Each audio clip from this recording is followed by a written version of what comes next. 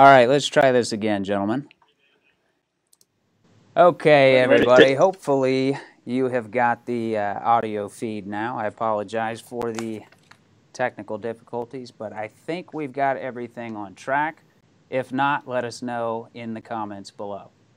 So, as I was saying before, welcome back to the Branson Show. I'm Dane Braden, and uh, tonight we are joined by two very special guests. And I want to give you a, a brief intro background on each of them so you know where they're coming from and uh, how and why they're qualified to speak on these matters. So, first up, we have Brad Lepper. Brad, it's good to see you again.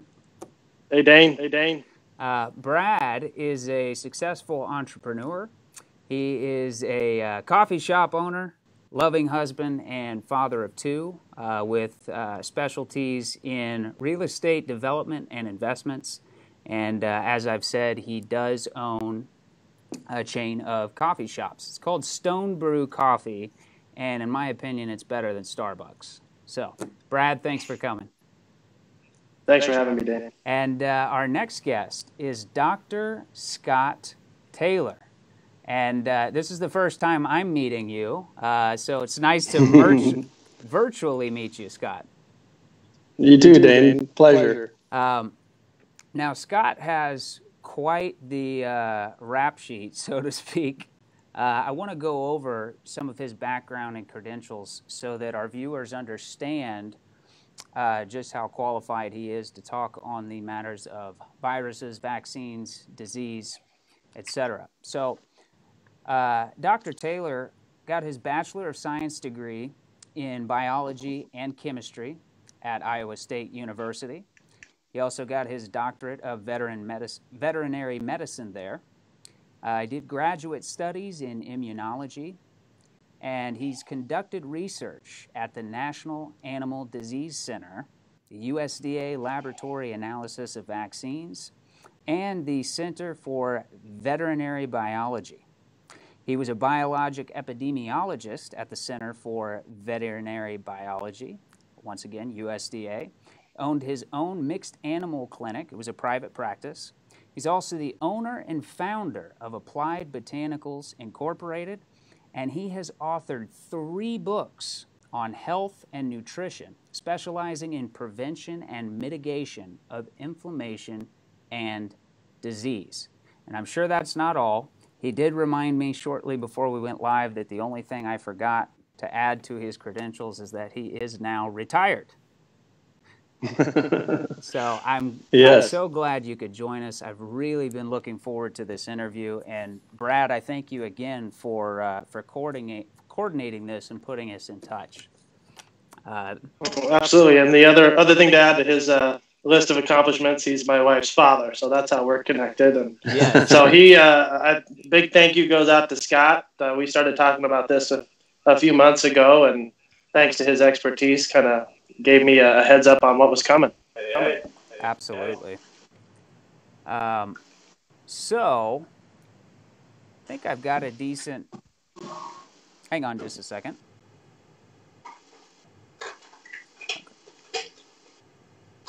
Oh, from the button. Gotcha. There we go. Um, I think I've got a pretty decent outline put together for the course of our conversation this evening, and we're just going to loosely stick to this because I really want to allow uh, some time and some space for both of you to expand on these topics or add anything that we may have missed in preparation for this. Um, so, let me give you a little backstory. Uh, Brad, when did we first discuss the seriousness of coronavirus? I would think it was probably, was it maybe early February, mid February, when you and I talked the first time about it. I think that's about right because um, I'll be perfectly honest with our viewers. At that point in time, I was not taking coronavirus as seriously as I should have. After my conversation with Brad, I uh, changed my tune very quick. I started to do my own research and really looked into what was going on, and it was quite alarming, to be honest. Um, so, and then, you know, Brad, where he was getting a lot of his information was, of course, from Dr. Taylor. So I guess I want to start by asking this. Um, Scott, when did you first start following the coronavirus? I, I don't know the exact time, but I it was in January. I think mid to maybe the second half of January, sometime in there, that I it kind of hit my radar, and and started paying attention to it. Anytime a new what we call a novel virus comes out of China, it's it's on my radar. And just real quick, what what constitutes as a novel virus? A novel virus means it's new, um, meaning that it's not one that's been circulating around in our population or in the world. So it's a new emerging disease, brand new. And the reason that's important is because our our immune systems have not been exposed to it. So that what that that's called is being naive. Our immune, our immune systems are naive to this virus. And the problem with that is we don't have any immunity to it and obviously um, a new virus like that in a population that's naive can spread rapidly if it's contag- if it's contagious. So, uh, well, what did you see early on that that alerted you? You know, I need to start warning my friends and family that something's coming. There's something to this. Right. Well, well, uh, a, novel, a novel virus, virus, coming out of China is first alert, um, and that puts it on my radar. And anybody that's familiar with emerging diseases will will do that. The other thing is, it was it was um, word was coming out that it was it had human to human the ability to have human to human transmission, which is key. Um, because there's there's been other viruses that come out of China, like the H7 N9 influenza, which was transmitted from chickens to humans, but it never adapted uh, from human to human contact or, or, or, transmission, I mean. And it was very, um, very pathogenic. It caused a lot of disease, and the mortality rates were relatively high. Um, so that was that was a big concern uh, coming out of China, but luckily it never adapted to be able to um, people, only from birds to people, never from people to people. This one, this one is a new virus and has the ability to transmit between people, and it's also very contagious. So it means it transmits rapidly and easily between people. And being new, again, it's novel, so our immune systems haven't seen it. So it's going to spread rapidly, and, and we don't have an immune system that that's um, protective for it. If a virus a new virus, like say if we get a new seasonal flu or a, another cold virus that comes out, you know, our, our immune systems have, have some some experience and and memory to those, so it won't rapidly spread, spread throughout our, our population because some people are immune to it. In this, In this case, case, the whole world was naive. Nobody, Nobody had immunity to this new virus, so that's that's, that's a big problem. problem. Absolutely. Um, and Brad, what would you say were the things that you saw early on? Because I know that you and Scott were tracking this together around the same time frame. Uh, what were some of the right. things that you saw that were alarming to you? And, and in fact, I would love to know, you know, what did you see that spurred you to call me? I greatly appreciated the heads up. so I wasn't paying attention to it at all until Scott called me in, in mid January. And um, told me, you know, hey, this could get bad. And uh, I've known Scott for a long time, and we've had a pretty close relationship. So um, I kind of just laughed at him a little bit, and I said, ah, you know, well, these things happen all the time. Doesn't not going to come here. It won't affect us. I'm not worried. And uh, he said, no, no, this one is different. And um, knowing his background, I figured I better listen to him. and so we started doing some digging together. And I think the thing that besides my conversations with Scott, um, the thing that really got me looking was the response from China.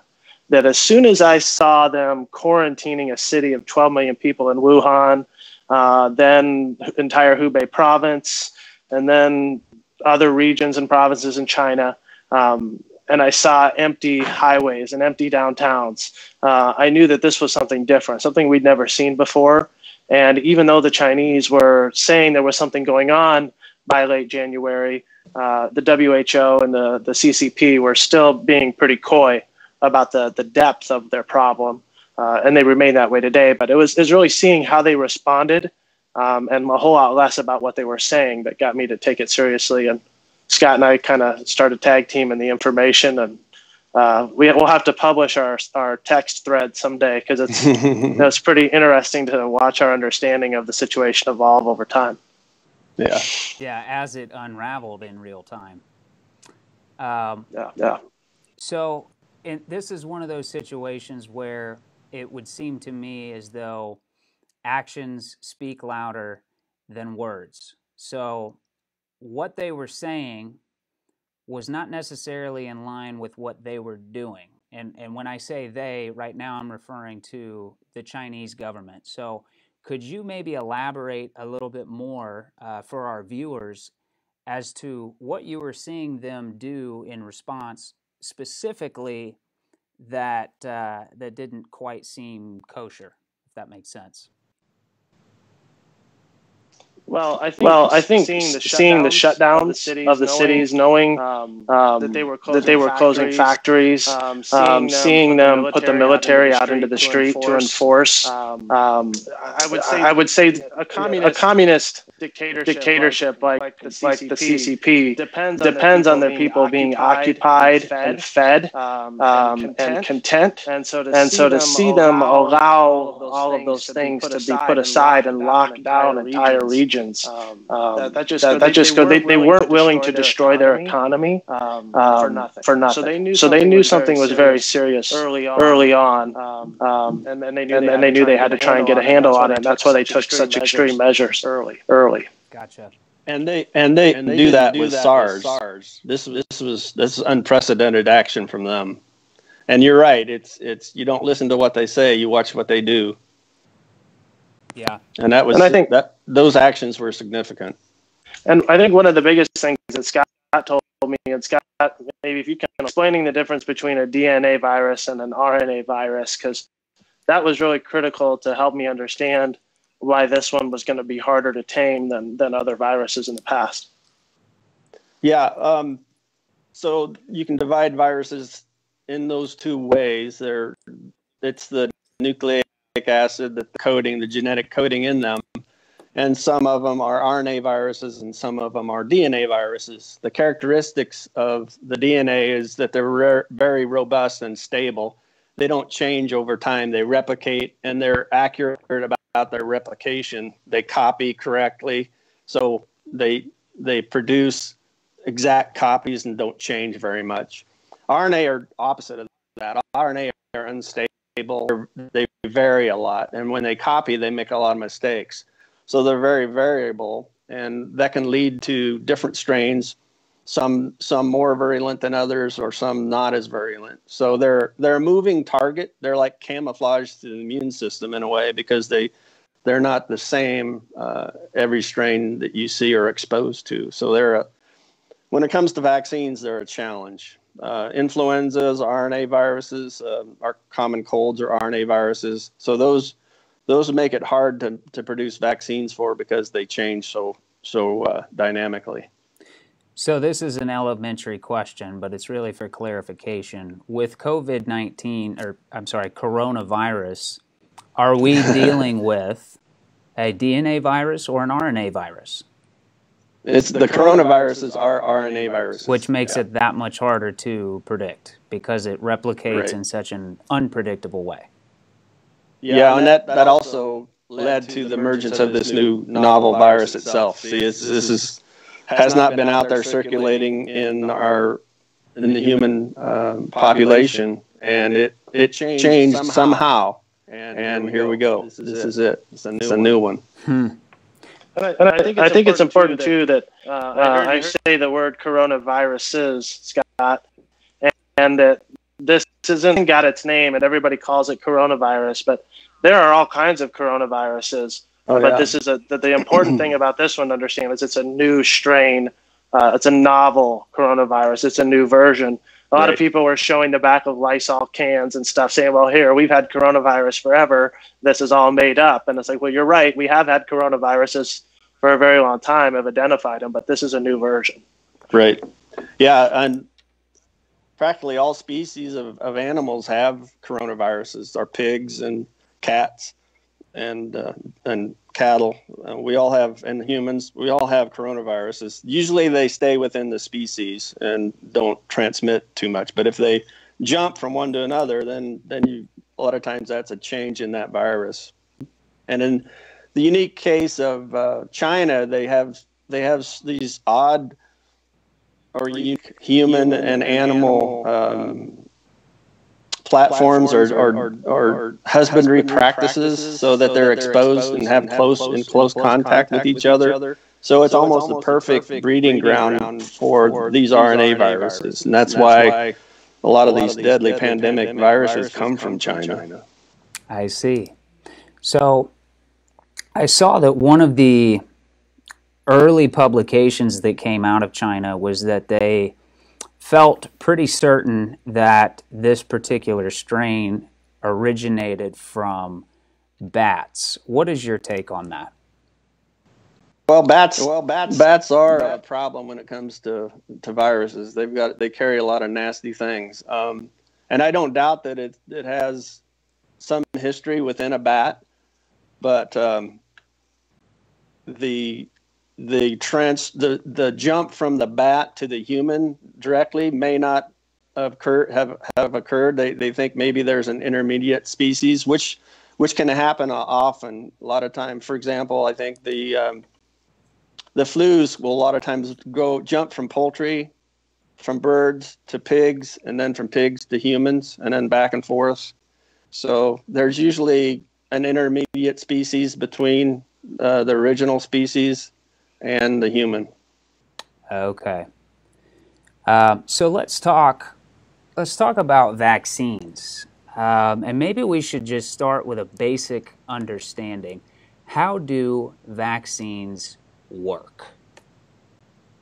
Vaccines, vaccines work to work stimulate, to stimulate the immune system, system to protect, protect against, against that specific, specific pathogen. pathogen. It's, it's, it's, a, it's controlled a controlled exposure, exposure, which, which then provides an immune response that that pro- produces an, an anamnestic response, which means memory, so that your your immune system has the ability to to remember things, remember antigens, and those antigens are specific for uh, particular viruses and bacteria that we call pathogens. And that anamnestic response can last a lifetime or maybe just a few months or years, depending on the the the depending on the vaccine and or the, the, the pathogen itself. But um, so vaccines are a controlled exposure to produce an anamnestic response in, in your immune system, protect you from from exposures of of real um, field strains that are virulent that can cause disease. So the the vaccines are usually attenuated or modified live, which means that they won't cause disease, but they will cause an anamnestic response, immune response. Okay. So, what do you think are some of the major hurdles or obstacles that we're going to be facing in pursuit of a vaccine for this? Well, well um, um, RNA, RNA viruses, viruses don't lend themselves, themselves well, to, to vaccines, vaccines, and, coronaviruses, coronaviruses are RNA, viruses. Um, um, we don't, we don't have, have um, SARS, SARS came, out, out several, several years ago. We don't, don't have, a vaccine, for it. it. So, so um, the, the coronavirus has caused common cold, the rhinoviruses and coronaviruses. So it's like, you know, if if, if vaccines would be effective for that, you'd think they, we would have them, but, but they don't because they, they change their dynamic and it's, it's a challenge to produce a vaccine. It's a, like I said, it's a moving target. So you're designing a vaccine, but over time, that thing, the, the virus, the virus itself keeps changing and it makes it a challenge. Now they, now, they have, have they, they have said this one seems to be somewhat stable and it might be a candidate for a vaccine. The, the problem is um, this thing's spreading so fast. By the time a vaccine is available, it's going to be primarily too late. I see. So for for the Western world, Western Hemisphere, um, are we past that prevention point? Like, in other words, is it already too late for the vaccine? Yeah, yeah, for, the most part, because um, th- most, most likely we're all going to be exposed to this sometime within the next, I'd probably say, 16 months or so, um, maybe a year and a half, and and and a vaccine, if if, if successfully uh, produce, produce that's, safe and effective, it'll come it'll come out, about that same time. So it's it's kind of it's kind of after the fact. So so so it's too so late, it's too late really to be, to be that helpful. That helpful. Gotcha. Gotcha. Um, that you, you did mention 16 months, which is quite an extended time frame, and you know you've got all these different media sources predicting different lengths of time that this is going to be with us.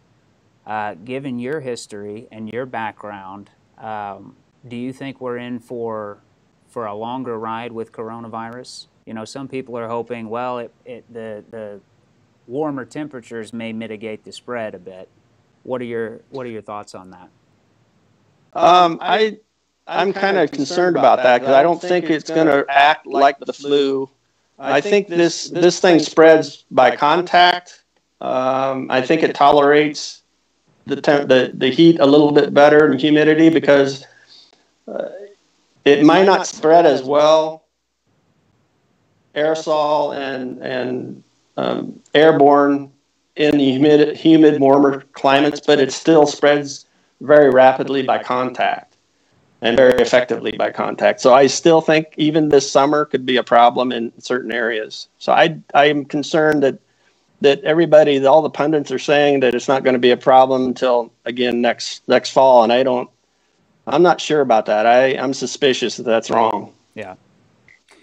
No, and we've seen we've seen spread in tropical climates, um, subtropical climates already, which I think kind of shows that even Australia has had their cases with spread, which they're at the end of their summer. So um, we, are seeing spread in all different, different temperature, temperature zones, zones of the world. So yeah, the, this, the, the, this is not the flu. Yeah, you know, I'm so glad you said that because that was actually my next question.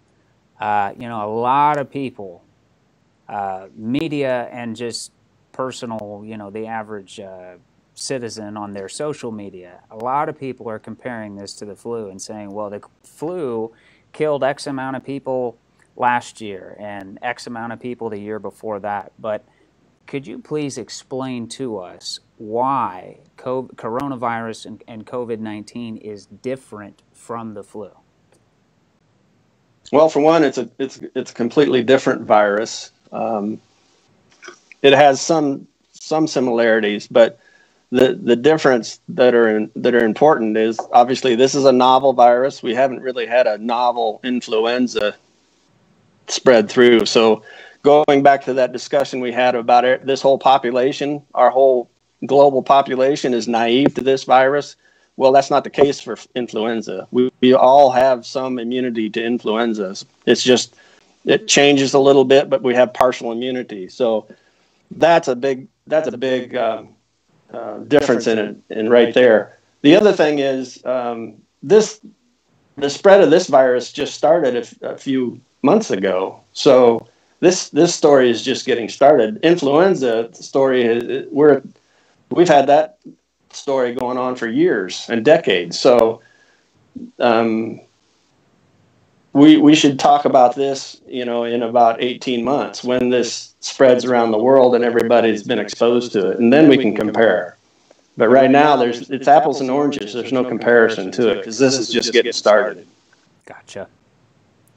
Um, now, I've also heard people talk about, and Brad, we talked about this. Um, I've heard a lot of people talking about, well, the coronavirus didn't kill this victim or COVID 19 didn't kill this victim, it was the pneumonia that killed them, or it was some other underlying health problem that killed them, but it wasn't coronavirus. And so our, our death toll rates are, are incorrect.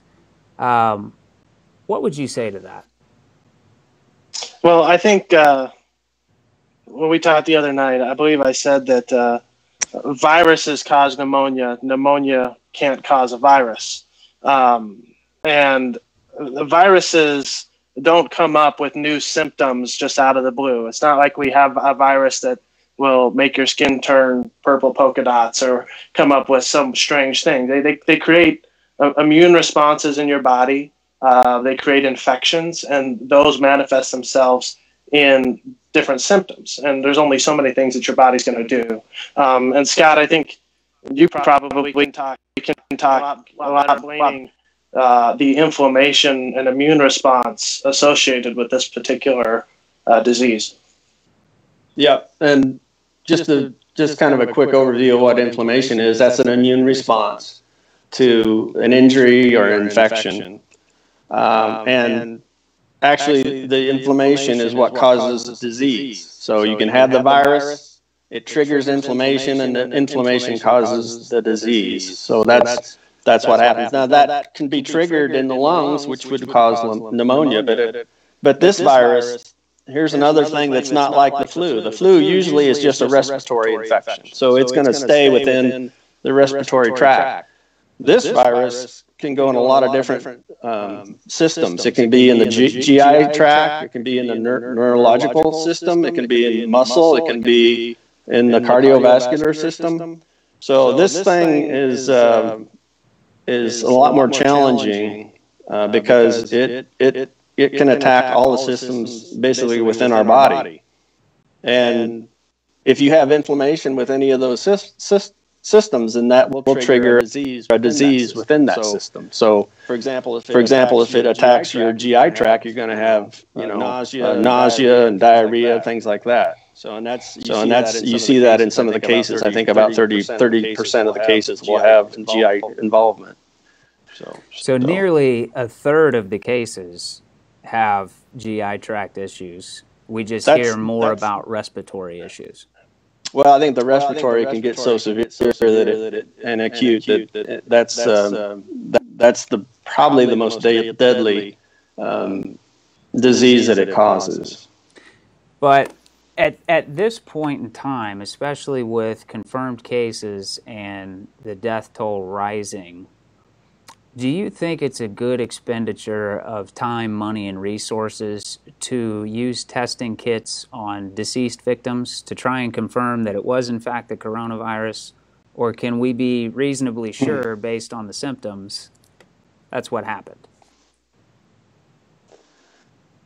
Yeah. Um, well, I'm not a pathologist, but if you're if you if you have an infection that triggers a pneumonia and a cardiac arrest, because inflammation can do that, you know, the pathologist may classify that as cardiac arrest and pneumonia, not as coronavirus. coronavirus. That that so to be kind of muddy. And as, as far as using, tests on, you know, you know post-mortem, I, you, know, you know, we, we don't, have, have enough tests right now for for uh, monitoring and surveilling what this outbreak's doing. So I would say um, it, we're, we're, better off, you know, testing um, people to see what the disease is doing, so we can make wise wise decisions and, and better um, take better action to control the disease than than looking backwards. We need to be looking forward.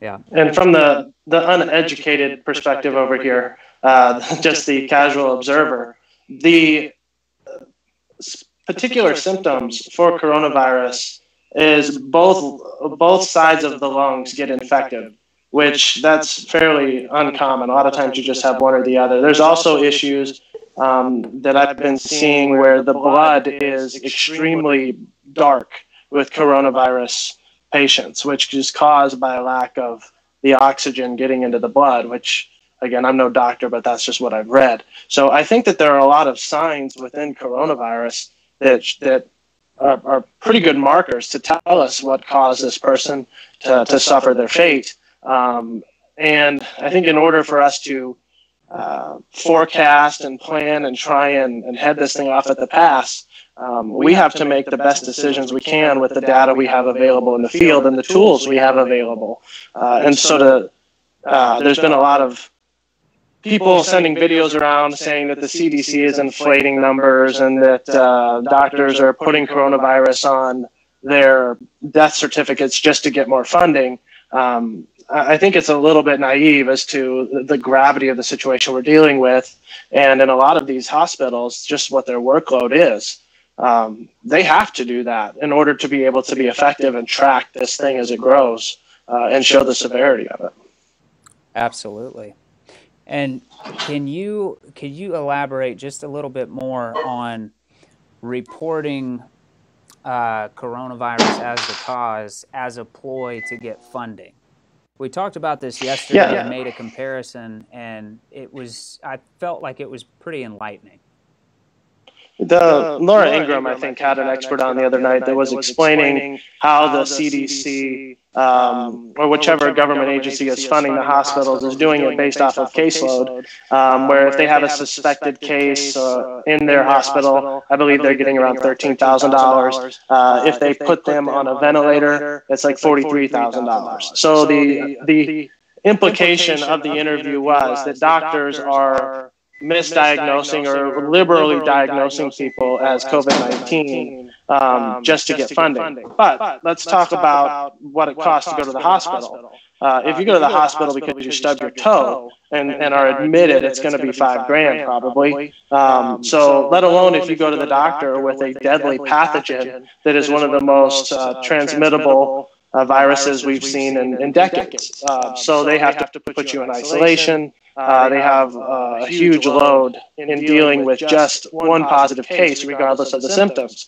Um, um, so, so I really don't think that ten to fifteen thousand dollars is unreasonable for that, for that care system. system. And then the next, and then if you have to be put on a ventilator and put in the ICU, uh, I don't know I don't about you, but I don't hear very many people that end up in the ICU for any reason that uh, don't end up with a hospital bill that's north of thirty thousand dollars at the end of the day if you're put in intensive care. So those numbers are not inflated above what normal illnesses are, at least not by a huge percentage.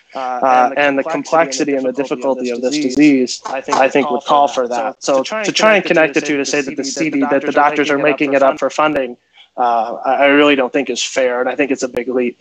Yeah. Yeah. Scott, did you have anything to add to that? No, no but, I um, thought, of another couple things, things um, that's diff- different with, with, with this virus. The sequela, from this virus, when you have, when you a, serious case, it seems to be um, a lot worse than the influenza. Usually, when you when you recover from influenza, you have very little sequela, meaning you don't you don't have any long lasting problems left over. You're you're usually clear and good to go. This this this virus, if you get the serious pneumonia, it can cause fibrous tissue to form, to form within your lungs, and you can have a you know basically a fibrosis within your lungs, which reduces your ability to to to breathe, and that can be lifelong, lasting lifelong. So it's a it's it's a serious has serious sequela to it than that that influenza doesn't have. Gotcha. Um, now I'm kind of jumping topics here, but uh, I, I, found this particularly interesting. Um, can you tell me and the viewers where the toilet paper shortage originated? How did that come about? Because it. Which one? I don't think it. Are you pitching that to me? either one. Either one. I think I can handle this one. This one isn't about science. This is markets. Uh, so Scott and I were watching this thing in late January, and when it spread out of Wuhan, and started to spread around all of China, and they started to lock down China. Um, we saw reports coming out of Singapore and Hong Kong, um, to, uh, Tokyo, a lot of the Asian countries, of that there were runs on um, goods and in their grocery stores, and the main thing that everybody wanted was toilet paper in those regions because a lot of their toilet paper is made in China and they figured that it would would have a shortage. So that kind of started this wave that uh, people saw YouTube videos and, and news clips that was gone from shelves in these major cities, and that really just spread across the world from there. That you saw it move through through um, India and through through Europe, uh, and then ended up coming here. Uh, so it's not a lot of people are trying to say, "Oh, we're, we're so stupid um, is that people are kind of herd creatures. Uh, we see what we're seeing crowds do. Um, so we saw the crowds in Asia buying toilet paper, and we started buying it too. And so that's where that came from. Uh, was that a starter supply comes out of China? And so it was it was a demand thing too. Um, so in, obviously the increase in demand, not necessarily a, a, supply problem, but the other important thing is it, you know people say, well, you're hoarding toilet paper. No, it wasn't hoarding toilet paper. The objective was to to prepare and get an inventory of toilet paper so you don't have to go out into the stores and mingle with people because you know you don't want to be transmitting or receiving the virus. So you wanted to be able to shelter in place like they're trying to do now. And that was we were way ahead of that that game. Um, and that was the main objective is to stay away from crowds of people. That was um, one of the main reasons to prepare. Now, I know that we are still experiencing some toilet paper shortages throughout the United States, uh, but we do have our own toilet paper manufacturers here in the States, do we not? Sure, we do. I can't. I can't imagine we we ship toilet paper from China on on container ships. That's that doesn't seem very feasible to me. I wouldn't think so. Uh, we have we had a family member that worked at a paper mill in Maine for a while, so I know that there's there's plenty of paper production in the United States, and I'm sure that there are there is production here, but it's just a matter of demand is so high right. because once people see empty shelves, when they see it again, they're like, well, I better buy extra, uh, and that's just putting yeah. so much demand on the system that they can't keep up. Currently, catch up soon. Yeah, yeah, yeah. So let's switch gears and let's talk about the tiger in the Bronx. A tiger tested positive for COVID 19 in a New York zoo. And that really caught my attention. What, Scott, what does that mean and what can we take away from this? That, uh, that test was actually performed in Ames, Iowa, where in the campus that I, where I work, so in our diagnostic lab. Wow! Because yeah. we we do we do um, we do all the animal testing, confirmation testing in, in Ames at the Diagnostic Virology Laboratory. So, and I that's the campus I worked on. I didn't work in the diagnostic lab, but I, I worked on that campus. That's where in the, under USDA. Um, that's an interesting thing. Um, I saw that, and I heard I had I'd heard that some cats had um, tested positive for the virus. Um, and I thought, well, okay, I can see that. And and then the question is, okay, if they can be infected, can they transmit it? And the interesting thing is about those cats in the Bronx is that they actually had symptoms. Well, if they had symptoms, that means the virus is replicating pretty well and causing disease. Mm. And and there was there has been some studies showing that they can recover the va- the virus from cats and then so that makes me very suspicious that yeah if they can if they can uh, be infected by the the virus they get disease meaning that the virus is replicating and they can shed the virus then obviously they can transmit it to humans.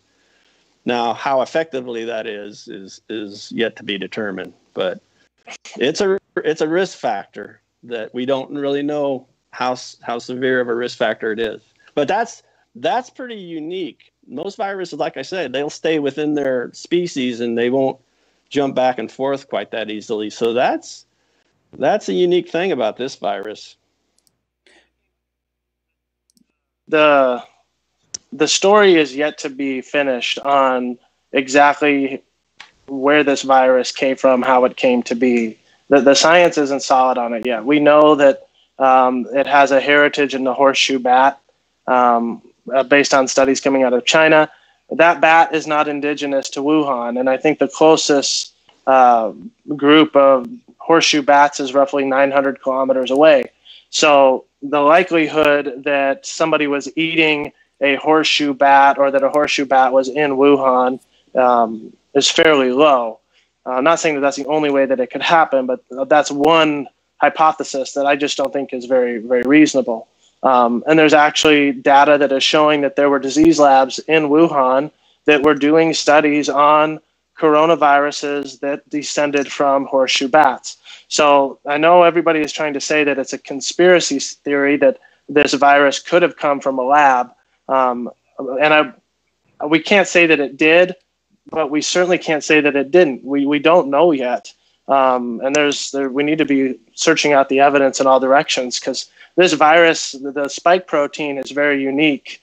Um, and Scott, I don't know if you want to talk about this at all, but the the spike protein is what allows it to attach to the ACE2 receptor in the cell, um, which is why this is so virulent and why it spreads. Is, is it is able to enter the cell very efficiently, um, and there are plenty of scientists that have written reports, including uh, from South China in Hong Kong, that have studied it and said that um, based on that spike protein, uh, they think that um, that there are a lot of questions about how it came to be.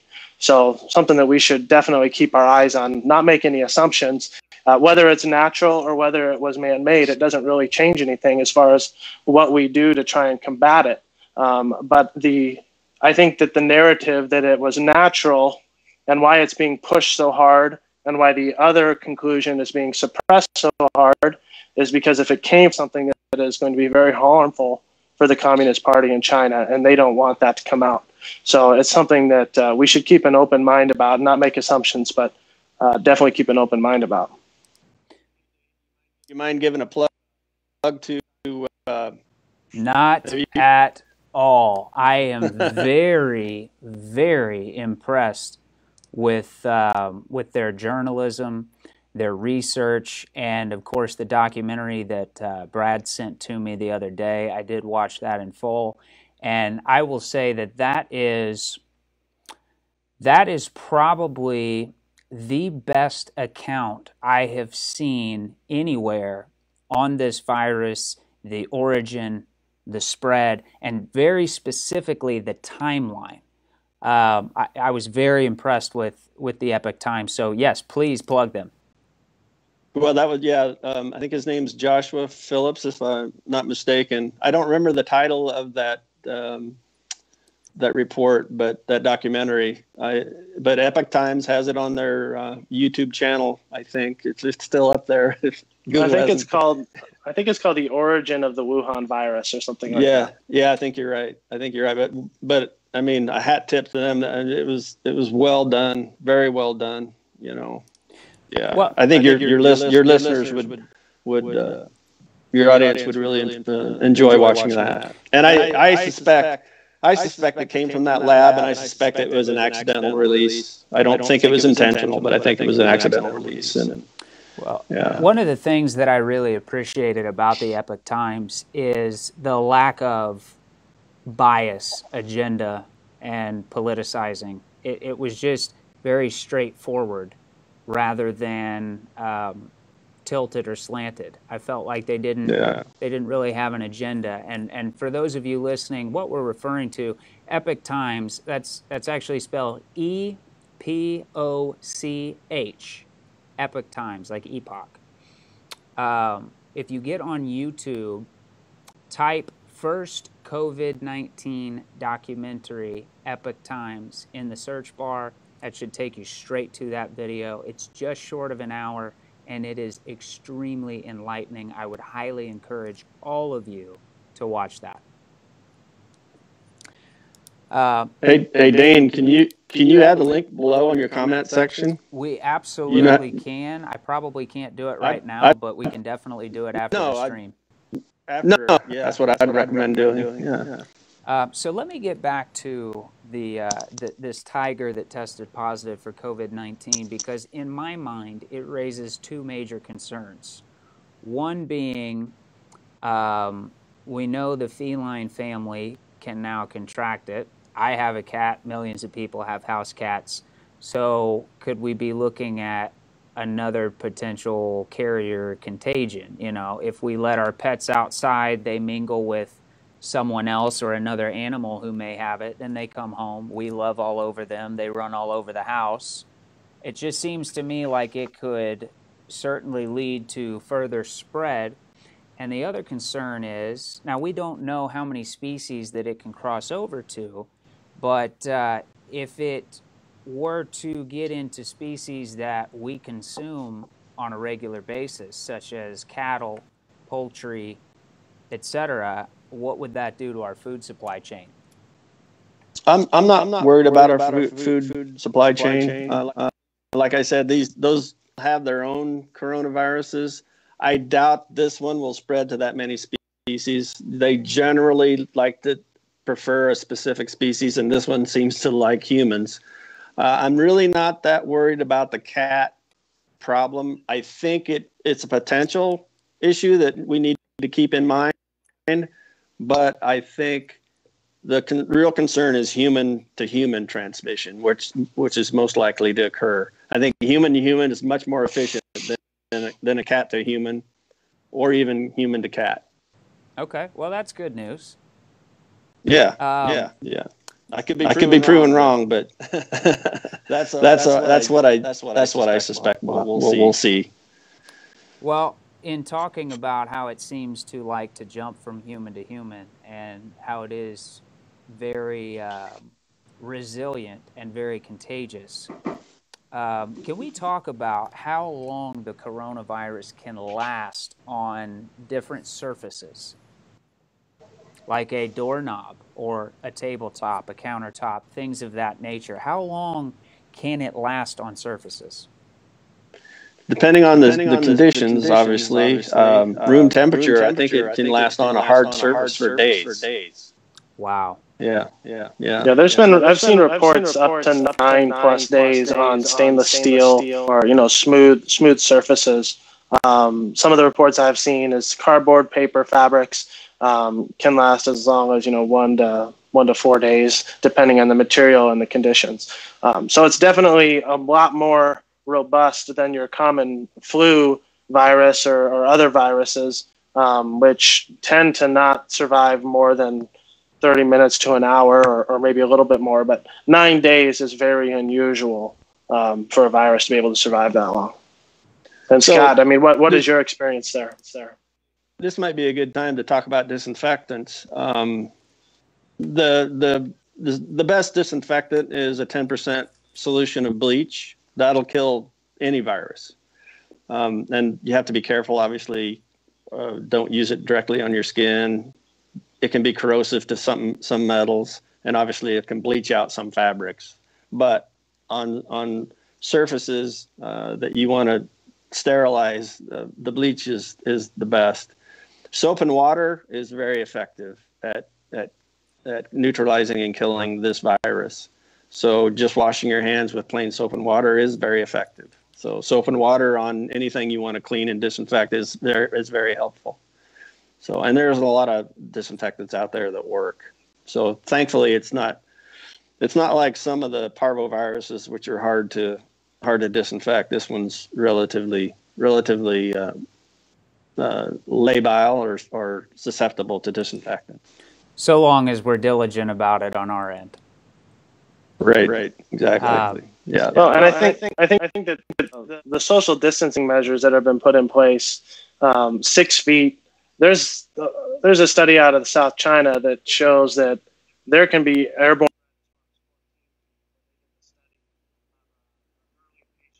that went onto a bus and sat near the back um, and they were able to track them the entire trip with uh, with cameras and saw where they went. Um, and there were people that were positive that sat 14 feet away from them, um, which is just showing that it is in the air, uh, and just you know keeping a little bit of distance from somebody may not be enough. Hopefully, it is.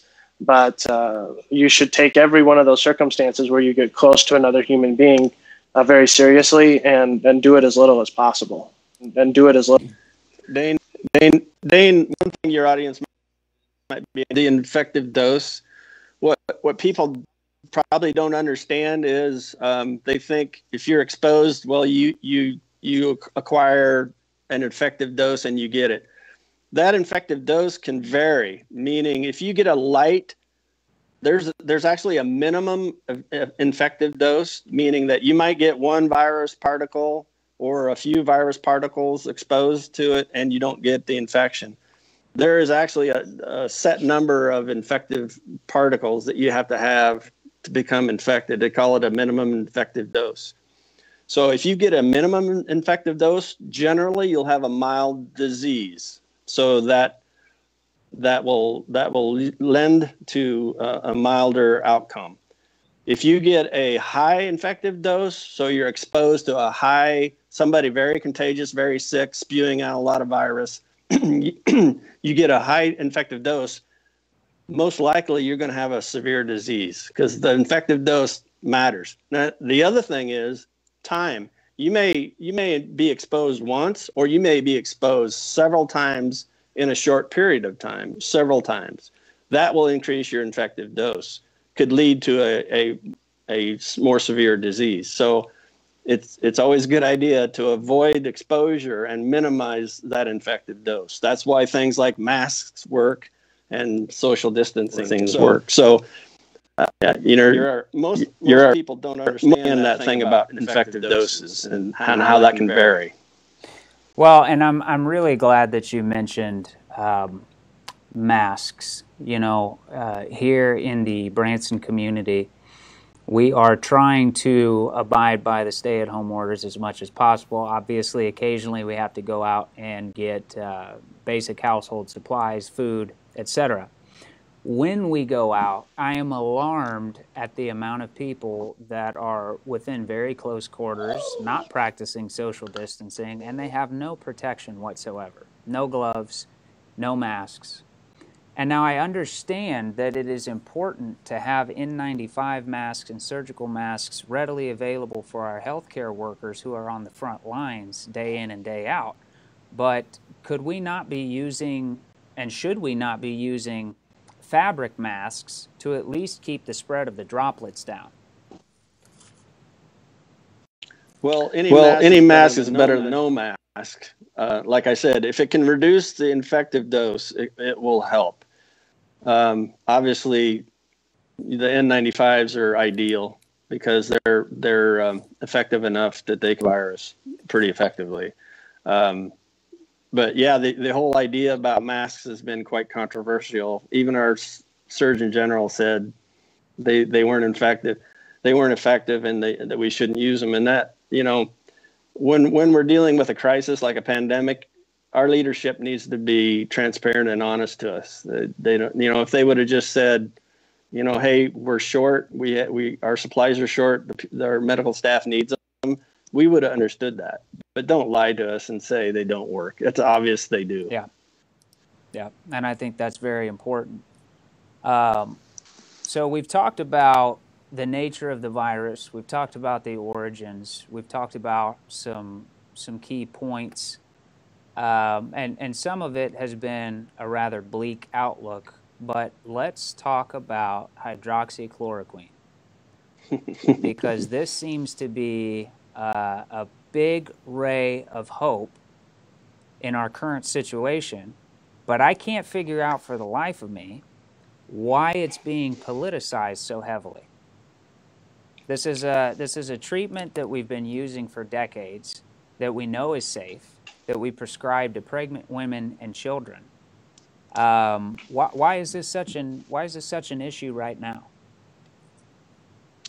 Well, well, um, rather than rather than dwell issue right now as far as political, let let me just say that if this was a new drug that just came out, it would be the hottest thing. But since it's an old drug that's been out there for 65 years, and now it's politicized, um, it's it's it's really exposes the fragility of, of some people on the political spectrum. And, you know, I, I guess I'd like to go back and just say if this drug was new, the unique thing about hydroxychloroquine, it is for mitigation. It's it it inhibits the virus's ability to replicate, which is very important, obviously. Absolutely. Because that replication triggers inflammation and causes disease. And two, it actually mitigates the immune system and suppresses and controls the inflammation from getting out of hand. So it's the perfect drug for this disease. It because it does the two things you need: stop the virus from replicating and control the inflammation. And it's like a miracle. And and you know, from my perspective, it's a game changer. And kind of like the president said, um, you know, it is a game changer. It's huge. Unfortunately, we don't make it in the United States anymore, and the the supply has been an issue. Not not to mention, it it, be, it became um, a beach ball in in a political game, and and that's just that's just been sad. Uh, even even in medicine, you know, there's people even in medicine that don't know what they're talking about because they haven't used hydroxychloroquine in their practice. You know, people that have used it that are reporting that this thing is extremely safe when it can be used in children, pregnant women, nursing women. Come on, it, this is one of the most. It's so it's safe, it's effective, and it's cheap. So, where's the disconnect, right? Well, well, as, as, as Trump, Trump says, says, it's like, it's like you know, what do you have to lose? You know, it's safe, safe it's safe, it's, safe, it's cheap, it's cheap and, and, in my opinion, opinion it's very it's effective, and it makes and it makes, it makes all kinds of sense. It's, it's in my opinion, it's the drug of choice, choice because it does two things. It inhibits the virus and it, it controls the, the inflammation, which causes the disease. The other the thing about it, unfortunately, is we're not using it correctly. We're, we're using, using it when, when cases, cases are serious. We need, we need to use it early, right, right away, almost like a prophylactic or preventative. I was hoping you would say that. Can you can you explain yeah. to the viewers what a prophylactic is? Yeah, yeah prophylactic, prophylactic is like a vaccine because it prevents disease. That's what vaccines do. A prophylactic is a therapeutic. It's not a vaccine, but it can it can keep you from getting the disease. So it prevents prophylactic and prevent kind of the same synonym. Then, so it prevents you from getting the disease, but it may allow the infection to occur just enough that you have an immune response. So, so you, the thing, the I, really, I really kind of go down a rabbit, rabbit hole is, is my theory, my theory would, be, would be we should let we should let, we should let, this, should virus, this virus, uh, you know, in livestock, in livestock sometimes, sometimes when we don't have, a, vaccine, have a vaccine, and in, and coronavirus, in, coronavirus in pigs, pigs called there's, a, there's a, a, disease, called, disease called TGE. It's transmissible gastroenteritis. Before we had a vaccine, which the vaccines may or may not be very good. But before we had a vaccine, we would do controlled exposures. We would intentionally expose the pigs to the virus at, at a time when they can handle it. And then it would reduce the disease later because they'd pass on immunity. So in this case, in this outbreak, you know, I would propose considering controlled exposure, meaning that allow people to mingle, to be social, but hand out hydroxychloroquine like candy and and let people have it freely to treat early or as a prophylactic and let this virus spread throughout our population without causing disease and and all the economic that it's causing. I think I, I think I understand what you're saying. Let me let me do a quick recap back to you to make sure I've got this right. But basically, what you're saying is um, if if we were to give this out, hydroxychloroquine, on a massive scale, um, and, and due to the nature of this drug, it could actually allow you to have somewhat of an immune response. So, what would end up happening is we would develop an immunity while taking this everybody gets exposed to it, and then our bodies are no longer naive, as you've mentioned before. Correct. Correct. Is that what you're getting? Perfect. At? Perfect. Perfect. Okay. Yep. That, yep. That's exactly. That's exactly. That's exactly, what, exactly I'm getting. Because see the see the, the the hydroxychloroquine, the hydroxychloroquine will not will stop not stop the infection. You'll still get infected. However, it will be a mild infection, just like a vaccine. There there are modified live right. vaccines that cause infection. Yep, they cause infections. But they but they're mild and they're not virulent. A, what they call them avirulent, meaning they don't cause disease. Well, in this case, you'll get infected. The hydroxychloroquine will will prevent the disease from occurring, but you'll still be infected, and hopefully produce an immune response, which then will make you immune to the virus without disease. That makes perfect sense to me. I would love to see that start happening.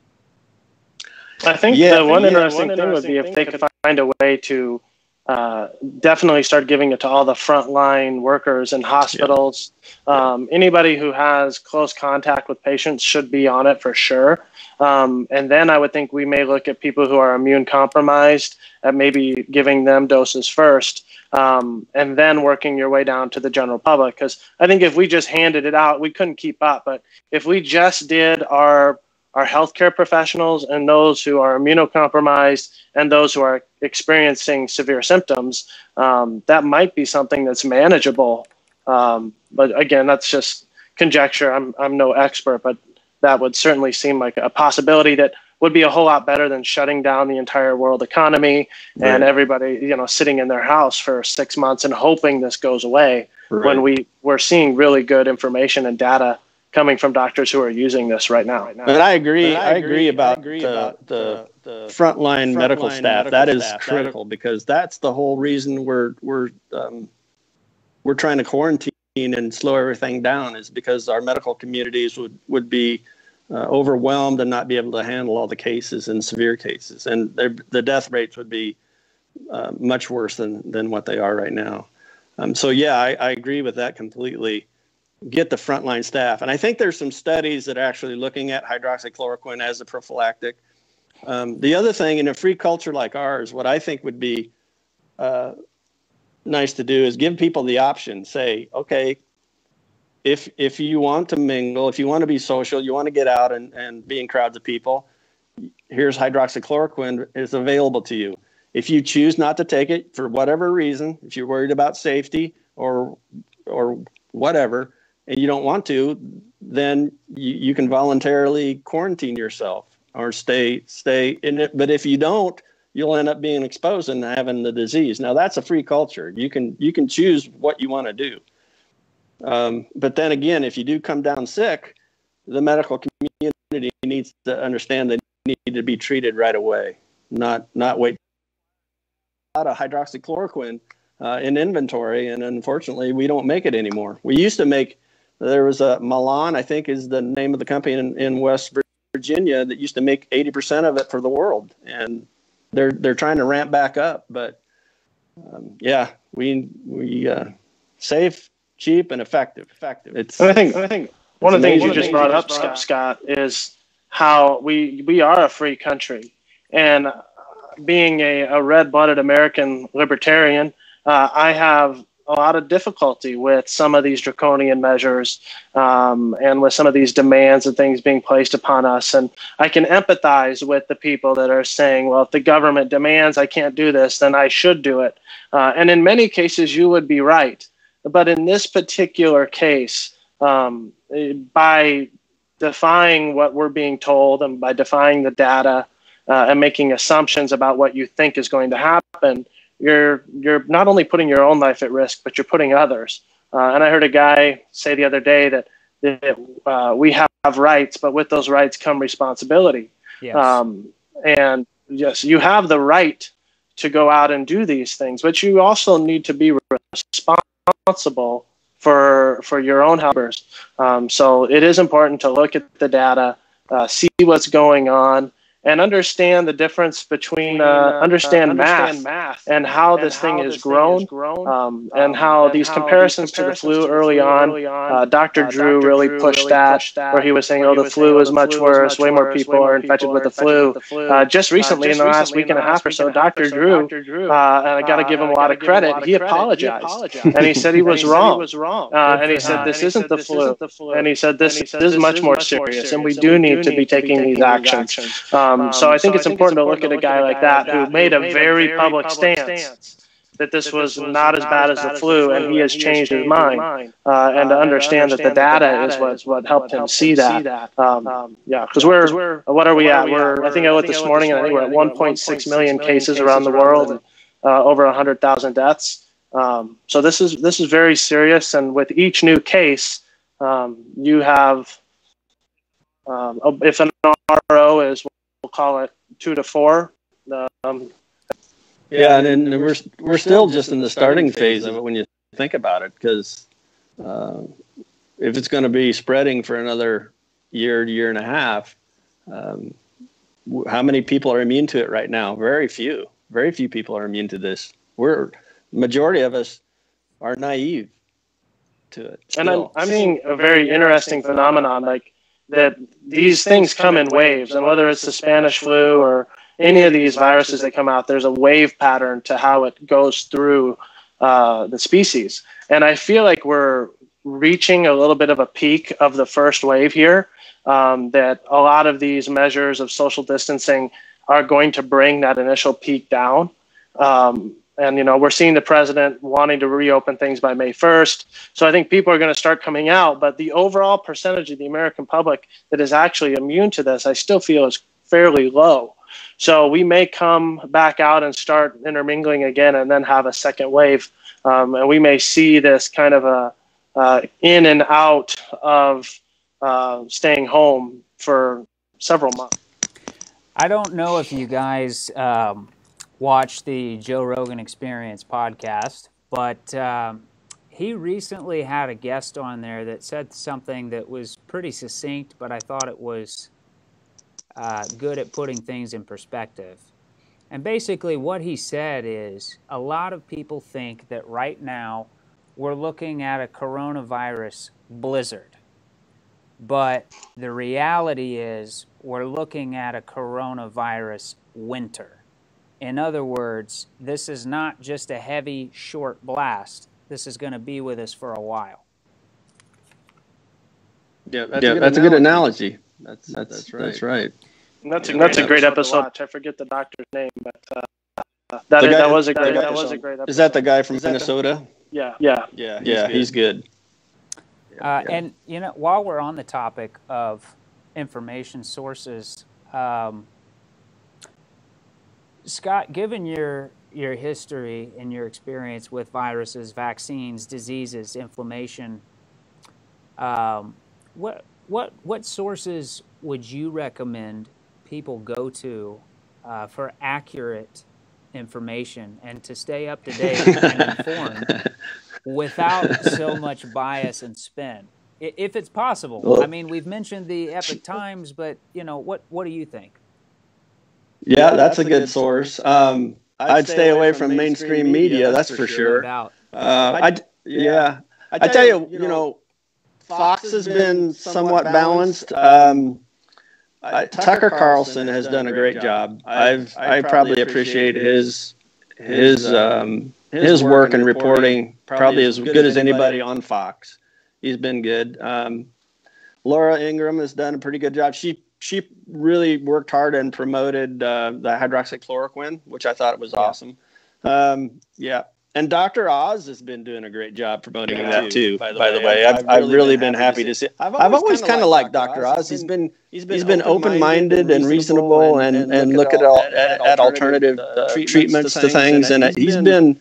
I've been, I've been impressed with him, and this this really I'm really happy to see him, him take take, take the stand that he has right now with with, with the, the, therapies, the, the potential therapies for this um, this virus. Uh, I, obviously, with my background, I can look at scientific um, um reports and studies and, and actually be able to read them, kind of understand what they mean. Right. Uh, so I look at a lot of alternative sources of information. I don't, I don't, I don't, I don't even listen to mainstream media. I don't trust anything comes out of there anyway.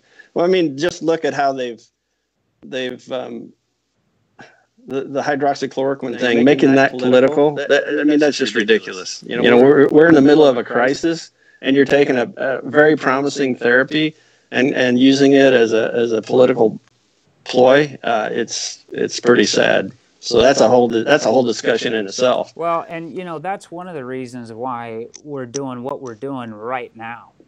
Um, do we have the audience of CNN or ABC? No, we do not. But you know, I feel it's like I feel that it's every citizen's duty uh, within their community to, if they see a need, to fill that need.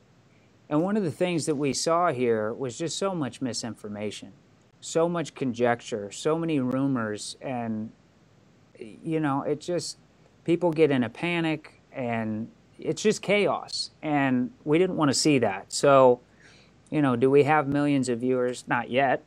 Um, but I still wanted to do everything, we still wanted to do everything that we could to try and help educate our community, keep them informed, and give them the information without the bias, without the spin, without the politics. So again, and, and, really appreciate you guys coming on here and doing this. And I think, and I think uh, uh, Scott, you would, uh, too that multiple sources of information um, where you, you can't just pick one. Um, I, my YouTube video feed is very colorful now, where I get uh, I get video from Japanese news to um, India to Italy and the UK and then the US. So you really kind of have to take a conglomerate or, or, a collaborative view of all the different media and all the different sources in order to get an accurate view of what's going on. You can't just listen to one source. And at, yeah, at yeah, the end of the day, you have to use your own. You have to use your own logic. You have to think. You have to look at it. You have to say, "Well, I know this. Um, you know, I know that." And one of my favorite guys, Taleb, uh, Scott and I are big fans of Nassim Taleb, who wrote The Black Swan and Anti-Fragile. Uh, but in those books, he talks about how negative knowledge is more robust, uh, where it's it's better knowledge to know what you shouldn't do versus what you should. So we can look around and based off what has happened around the world we, we know that we should we shouldn't be in large groups um, we going out to eat. We shouldn't be doing a lot of these things uh, uh that spread the disease. So we can we can develop very robust knowledge from the negative side by looking at the history of this virus, how other countries have uh, contracted it and had it run through their through their countries, and that can really help give us some guidance. We're very blessed in the United States uh, that this hit here last. Really, it started in Asia and really worked its way across to Europe and then to here. Um, um, and we are extremely lucky that it didn't go from China to here first, uh, because we I think the story would be much different if it would have gone that direction. Yeah, we give kudos to Trump for that that ban of travel, and that helped that did give us some time. Yeah. Yeah, and I mean, and he I'm, took a I, lot of heat on that, but I, am glad that he did it because oh, yeah. it, could have it, totally changed the narrative of where we are right now. Yeah, and I think, and I think that's, that's, the, one move that really, really made, made up for, for a lot of other mistakes that he made. Uh, you know, I think early on Trump didn't understand how serious this was. He wasn't taking it as seriously as he should. But that one single move of shutting off China, I think, saved tens of thousands of lives in the United States because it allowed it to come here last instead of second. Yeah, yeah, and going back on you know you want to corroborate what put together confidence in what you're you're hearing. You know, it hit my radar. I'm like, okay, pay attention to this. And here, when we started talking about preparation, it wasn't like, okay, so we're going to prepare for the pandemic. No, we didn't do that. It was it was prepare for the worst but hope for the best. So it was just logical, reasonable preparation over time, and we fortunately saw it early and and had the ability to to brace ourselves and and prepare for it over that length of time. And and as that time unfolded, the story became it, on that spectrum of hope for the best and or prepare for the best and or prepare for the worst and hope for the best. It it, it became the worst case scenario. It unfolded as a yeah. pandemic, and uh, it undecided that. so, so that's another topic. That's another topic. Uh, Brad, do you want to speak to that?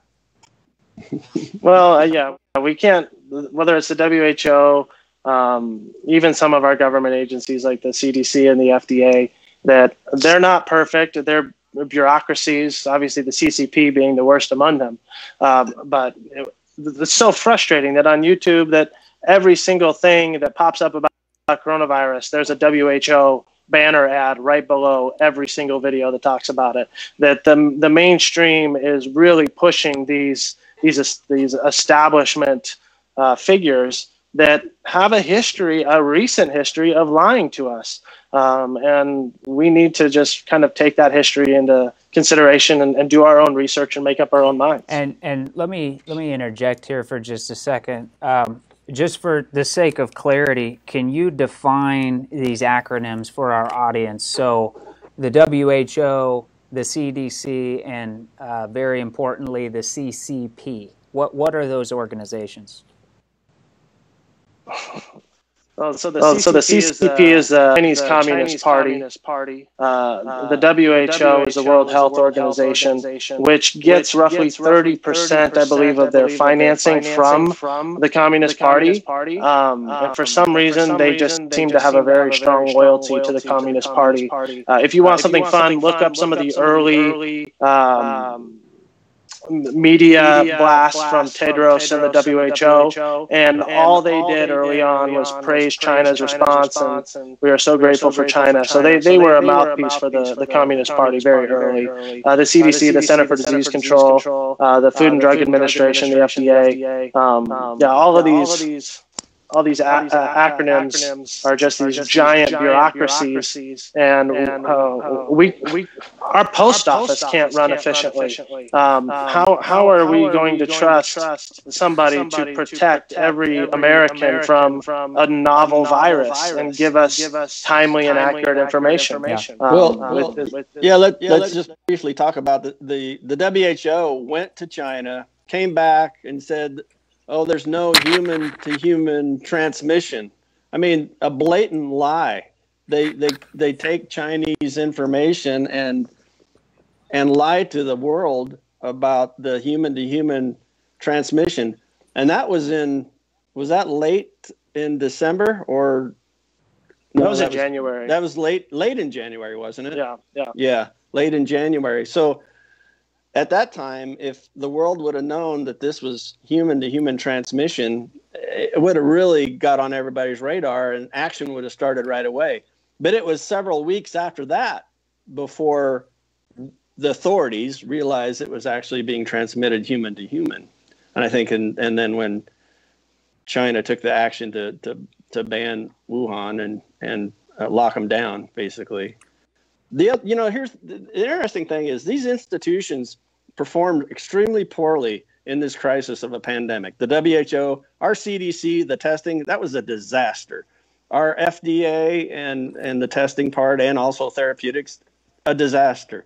Institutions don't handle crisis, crisis well, and, well don't, and perform don't perform well. well. Who, does? Who does? The private, the private sector. sector. The private, the private sector. sector. The companies, the companies in the medical, in the communities, communities our, our, doctors, our, hospitals, our hospitals the, the, the, the private, sector, sector, the people, people in Main, Street, Main Street perform, perform exceedingly, exceedingly well. well. Our government, our government institutions, on our international, international institutions, institutions failed, failed miserably. miserably.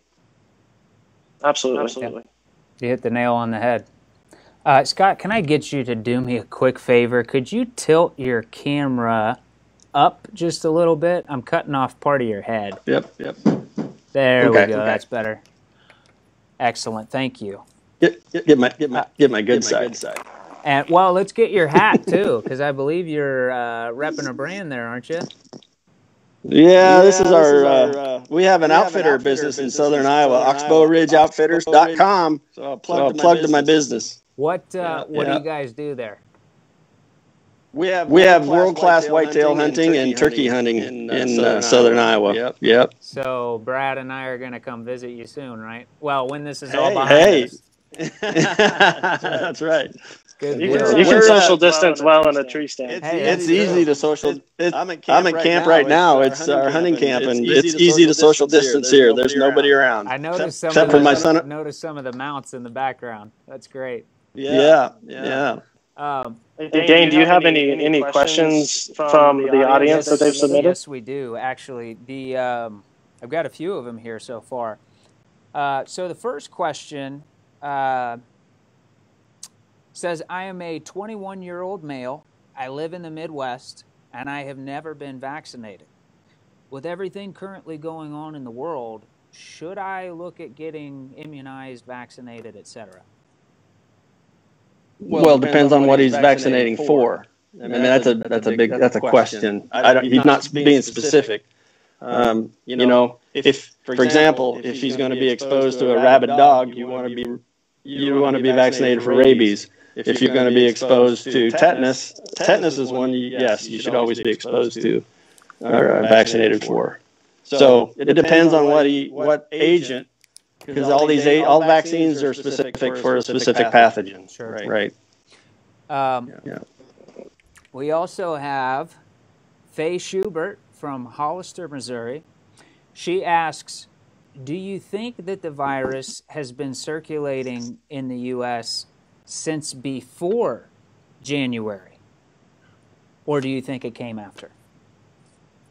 Scott, Scott can I take a crack at this one? Yeah, yeah, go ahead. Yeah, go ahead. So there's a study that was done in, in out of South China, out of Hong Kong, where as a part of tracing the genome or mapping the genome, um, they were able to look at cases from all over China uh, and all over the region. And what they found was that those viruses were all very similar, that there was very little difference between the viruses, um, which that showed that the amount of time that the virus had been circulating um, within our species has been fairly short. And they estimate that the virus entered human beings between October 30th and November 29th of 2019, which if you look at the, the progression through China uh, through November, December, the math adds up if you look at the doubling rate of four to six days for doubling. So um, I, I think that that study is extremely strong. And my personal opinion is, Scott, you can give yours, but my opinion is no, I don't think that we saw any cases in the U.S. until maybe late December, early January would, would be the absolute earliest. And that would probably require somebody to have traveled to China um, or be exposed to somebody who had. Yeah. Yeah, it was in that in that uh, Epoch Times and some of the other information, like in the they, they had the, the index case, which means the first person infected index case. Didn't they think that was in early just like like when they had, when they the, had the, index, index case. case. So that so should that be should the be first, the first person, person infected. infected. And I thought, and I they, thought said, they it said it was early, early December. December. Well, and also well, and you can also look you at a lot of the whistleblowers in China, a lot of the doctors that were blowing the whistle on when they began to see cases, and they were very specific about when they were seeing this new type of SARS-like illness circulating through their people right there in Wuhan. Um, so we know that it came from Wuhan. Uh, we know that um, it's they started seeing cases in December that were coming into the hospital, and then with the genome tracing that's saying that it started in uh, uh, sometime in November, you know, October 30 to November 29, uh, I think we can be pretty confident that there weren't any cases in the United States prior to, to that time for sure. Yeah. That makes sense. That makes sense. Um, this is great. We actually have several questions lined up. Um, so, my co host, Ginger Michaud, could not join us this evening, uh, but I'm proud of her because she is practicing social distancing. Uh, but she asks Are patients who have contracted it and have recovered, are they now immune? And furthermore, could they continue to infect others after recovery? In, in general, general, I would say, say yeah, yeah, they're immune. Um, there's, there's, there's, we're starting to learn, we're getting information, I should say, that that the immunity may may be full or may not be full. May there may be immunity in some cases, probably most cases. There are some cases that appear that people may not be immune to it. The other thing that may be happening, which could look like it's they're not immune, that this virus may be infecting specific cells like macrophages that are immune cells within the body and they may just be residing there and hibernating and waiting to waiting to grow again and reinfect at a later date for whatever reason. We we see this in some viruses like um, uh, like measles, isn't it? Measles, oh, chickenpox. I'm, I'm sorry, chickenpox. You can get shingles. From, that's, oh, that's a oh. virus. Yeah, that's a virus. That's a virus that re, reinfects and comes it's, it's what we call latent, we call latent sits in the, body, in the latent, body latent, and then reemerges, and then reemerges at a specific, at a specific time, time, maybe due, maybe to, stress due to stress or something, or something else. else. So, so I, we're, not, we're not this virus, this virus I'm not I'm sure, not if, it, sure if, it, if, if somebody gets immune to it if it completely clears clears the body or not or not. We're having some issues with testing too because some people will test test test negative and then look like they've recovered and then they'll test positive again later. So is it a testing issue? Is it a testing issue or is it that latent virus reemerging again? There's a, there's a lot about this virus, this novel new virus we don't know about, and that's concerning if that's the case. That's not the flu. The flu does not do that. once you're immune, to, the, you've had a, you've had a, a flu, it, clears and you're done, and with, it. With it. This thing, this if, it thing lingers, if it lingers and goes latent, latent that's another, that's big, another issue big, issue that we have to, we deal, have to deal, with. And I think and this I think is something, something where our, our, I think like our CDC and some of our are not taking enough precaution with people who have quote unquote recovered, where they're saying, I believe, if you've been symptom free for uh, seven days or fever free for three days, that they're saying that it's okay to go home and be around people. Um, and I guess I would I'm no doctor, obviously, but I think we should be certainly be cautious based on some of the data we're seeing come out with people who are either getting a false negative and still positive when they go home, or did test negative and then had it reemerge. We just don't know enough about it yet. Yeah. Well, we could also we could also talk about a different type of therapy they call they, they use plasma. You've heard about the the passive immunity where they use so somebody that's convalescent, which means means they've recovered, and they have antibody in their serum because they have immune response. So they transfer that serum into another infected person that's that's battling the disease, and those antibodies will neutralize the virus and, and help treat them. Well, that's not completely safe either because there's potentials for ser- serum sickness. There's there's other viruses that can be in serum. Yeah, they'll probably test for those for the most fleet uh, assurance. There's other type of reactions you can have to serum. So serum transferring serum is not absolutely safe. And and you know if they've been complaining about the safety of hydroxychloroquine, which has been prescribed billions of times, uh, I would say that's more safe than using serum uh, and plasma trans- transfers. Well, and I'm glad you mentioned uh, hydroxychloroquine again because we do have another question on that specifically. Uh, Terry Fensterman asks, how long would people have to take this medicine um, to prevent contracting COVID nineteen? That would that, that would that all depend that, that all depends on, on when you're exposed to it. Um, if you know you're being exposed to it, you can take it simultaneously, and you'll most likely be infected. And um, I would say the treatment at that point could be um, a week or two. They they treat right now. I think is only five days, but that's when you know you're infected. Uh, if you're just exposed, you don't know exactly. The incubation period could be probably what somewhere around a week to to 11, 14 days, somewhere in there.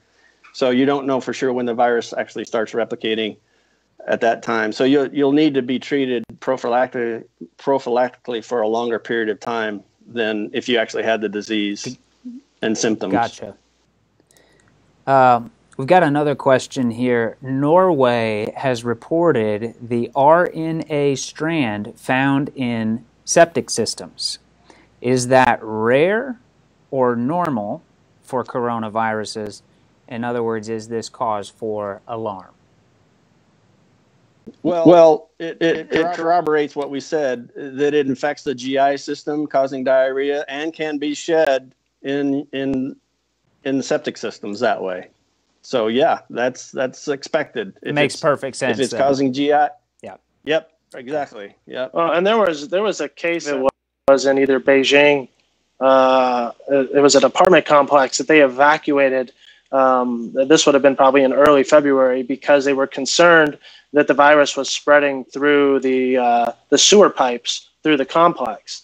So there's there's been instances documented where that has been a concern, um, and I would definitely say it's it's it's highly possible, if not likely, that yes, it, it could be found there. Yeah. Um, okay, this this is interesting. Um, there was, and I hope I'm getting this right, but there was a uh, a particular group or, or family, some sort of tribal type clan of people uh, back really 100 years ago during the Spanish influenza epidemic, uh, where they were treating all these people and they weren't getting sick. And one of the things that they found that was synonymous across all of these people that were treating infected but were not getting it is that they drank uh, tonic water and took zinc on a daily basis. And so we've got a question mm. here that asks, uh, is there validity to that? Is does does tonic water and zinc work? Is that helpful? You want me to handle that one? Okay. Yeah. Um, so hydroxychloroquine works by it's it's called an ionophore. So what it does is zinc cannot get inside of our cells. It, it has a hard time getting inside of our cells. So it, it, the cell membrane that's around our, our all of our cells that, that encapsulate our cells, zinc can't cross that very well. Hydroxychloroquine is like a channel. It's called an ionophore. So it it's like a uh, oh like a ditch culvert if you want to think about it that way. So it opens a door across that membrane and allows zinc to come in. Now zinc's very important inside the cell because that's where the virus tries to replicate. The virus produces a an enzyme that that's part of their replication, and that zinc uh, mineral will actually inhibit that. So it inhibits the, the virus's ability to replicate. And also, the zinc, I talked about how it can produce, uh, mitigate the, the immune response and lower inflammation. And that's, it also does that within the cell. It, it has a, the ability to downregulate inflammation. And it does that in a complex way that's kind of beyond the scope of this. But, but zinc does both of those things inside the cell, stops the replication of the virus and also um, reduces and mitigates the inflammation that's causing the disease, like pneumonia or or gastroenteritis and things like that. And I think they're talking about quinine is the, the substance water. that's in tonic water. Scott, what yeah. do you think about that? Is there any validity not, to that? Not, that? I, I'm I don't know. I just know hydroxychloroquine is much safer and much more effective. So I would not recommend using the tonic water and zinc. I'd recommend for this case, it's too serious. Jump right to the hydroxychloroquine oh. and, and, and zinc.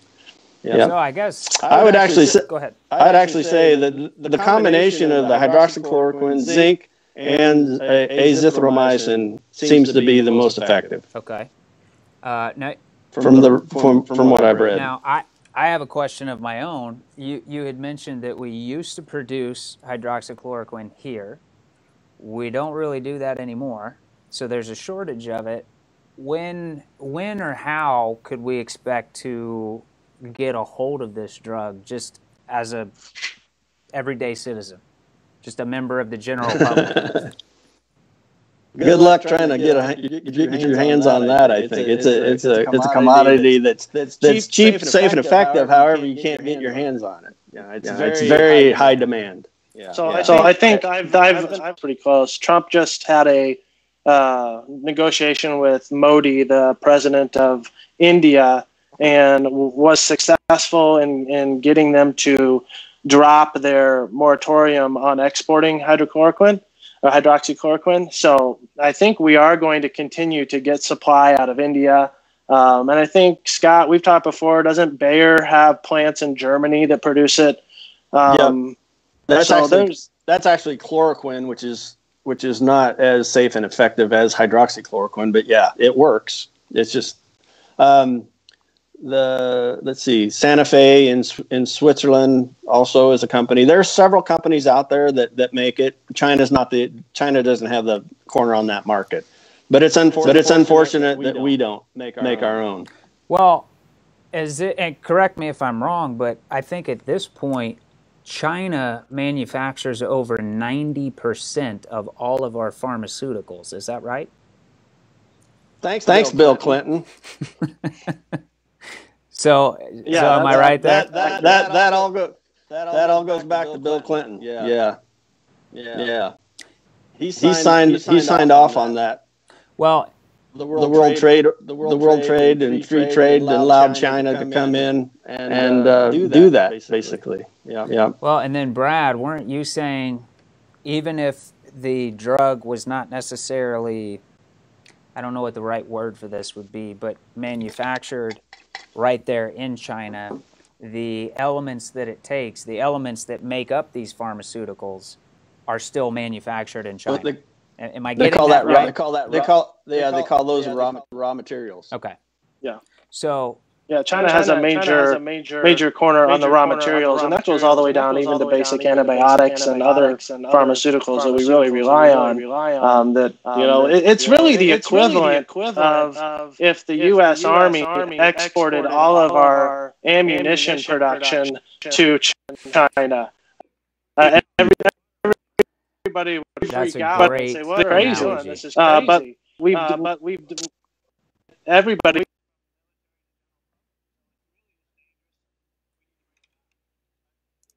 public. So it really is dangerous, and we need to bring it back. Cost all our pharmaceuticals basically to China.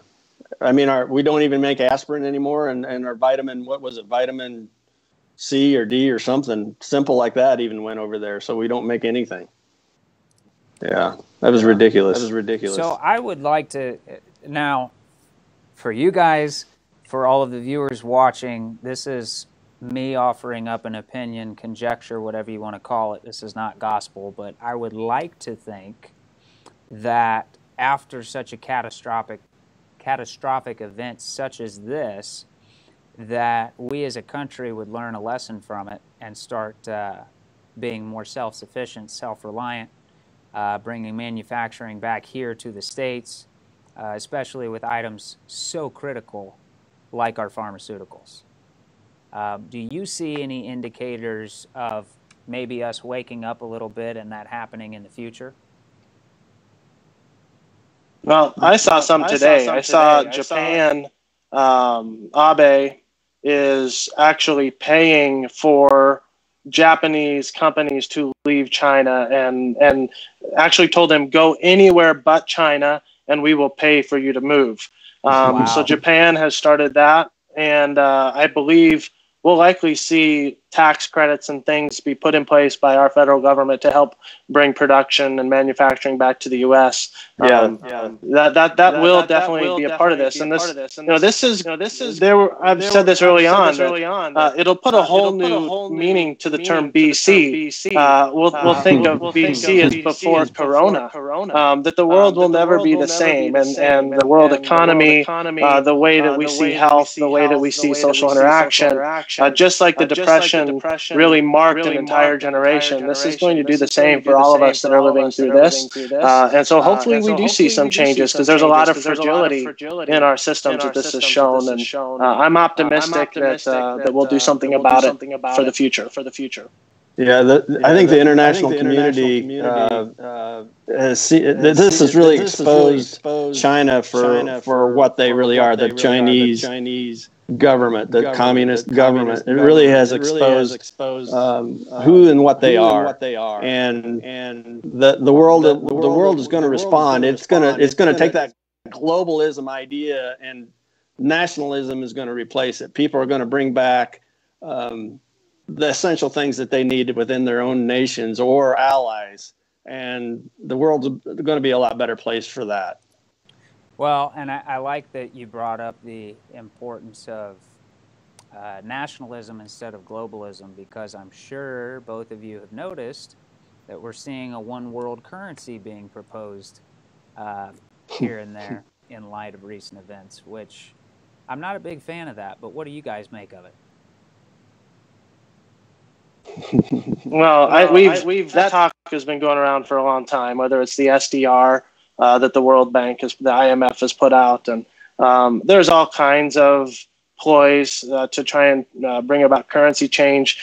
Uh, from what I understand about economics, though, the bond market is really the most important thing for the strength and, and security of a currency. And the U.S. bond market is the deepest and most liquid bond market in the world, um, which is why the U.S. Uh, dollar is still the reserve currency.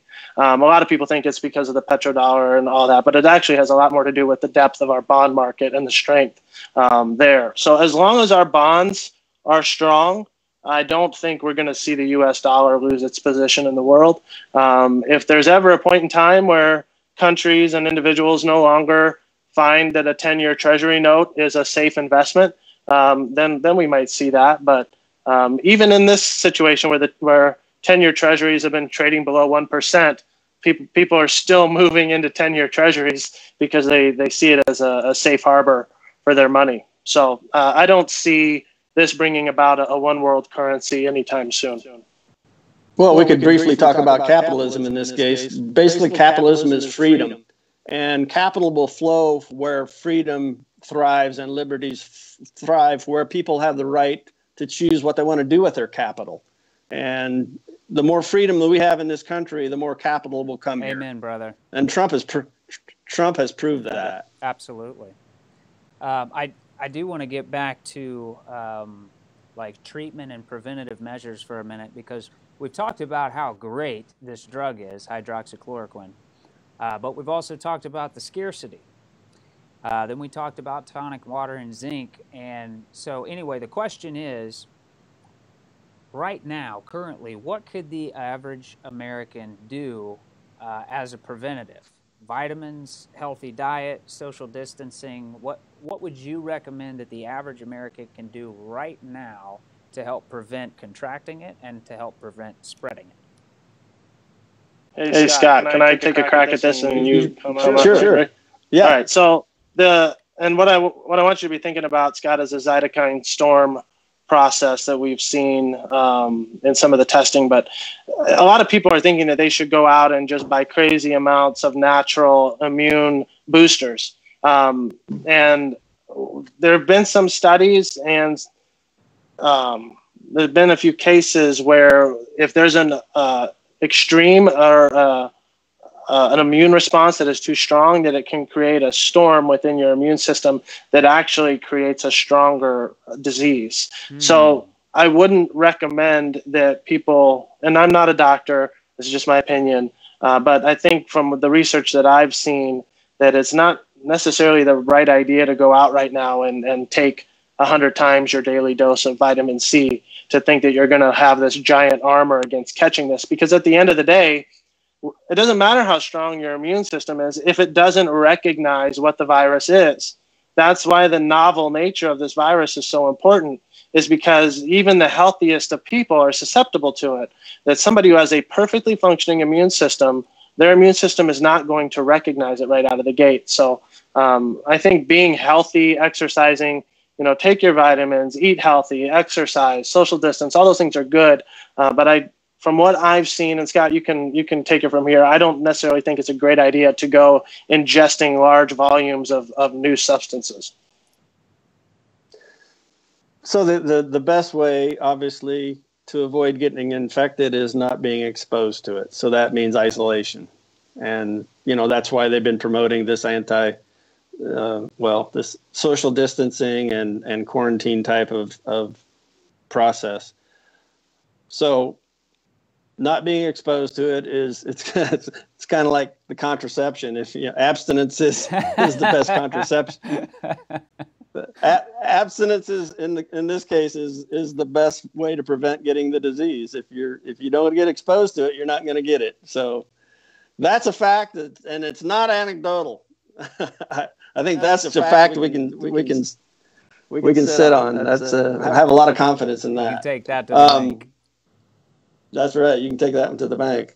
Now the cytok- the cytokine storm that Brad's talking about, that's um, that's an inflammatory response again, and that's the virus triggers that inflammatory response, and the cytokines are chemicals that control the immune system, and those chemicals uh, are are triggered at such a high level, it causes a a um, a damage damaging immune response, a, a very severe inflammation. And that very severe inflammation leads to the disease itself. That's what causes all the problems, the pneumonia. Every every disease we have ends with an itis, like arthritis, bronchitis. The, that means it's inflammation, and there, every disease, practically every disease, is infl- inflammation is the underlying process. So mitigating that, controlling the, the immune response so that it doesn't cause disease and death is what doctors try to do. Unfortunately, doctors don't have a lot of, of um, treatments that are good for inflammation. You know, that's it's something they, they treat symptoms more than they, they do the underlying cause. So that's kind of my specialty. I've studied for years is try to try to mitigate inflammation by primarily abstinence. I mean, you don't want to trigger inflammation if you can, so you avoid do things that avoid triggering inflammation, like eating right. Because if you eat too much sugar, it triggers inflammation. Sugar is a is a known cause of inflammation. So don't eat a lot of sugar. Cut out the sodas, um, processed foods, candies, right. etc. The junk. Right. Yeah, it's not it's not cholesterol that causes disease. It's not obesity that's the cause of the disease. Those are symptoms. The underlying cause of heart disease is inflammation. So yeah, it's inflammation. So controlling the inflammation um, in a, in a disease like this coronavirus is is vitally important, and that's why hydroxychloroquine is is awesome because it it does both things again. It stops the virus from replicating and it can helps control the inflammation.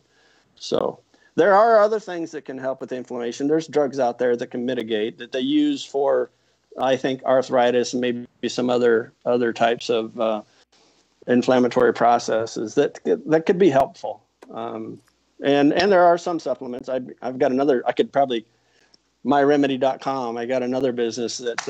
Uh, that I is all about inflammation and how to mitigate. You know, healthy diets and some supplements and things like that. So that and the, the idea the idea there is is to again prevent prevent the trigger of inflammation by eating right and staying healthy, sleeping well, exercise, um, and then also there's some supplements that actually do help. Uh, what what it does is help um, help your immune system control itself because your immune system has its own built-in control system.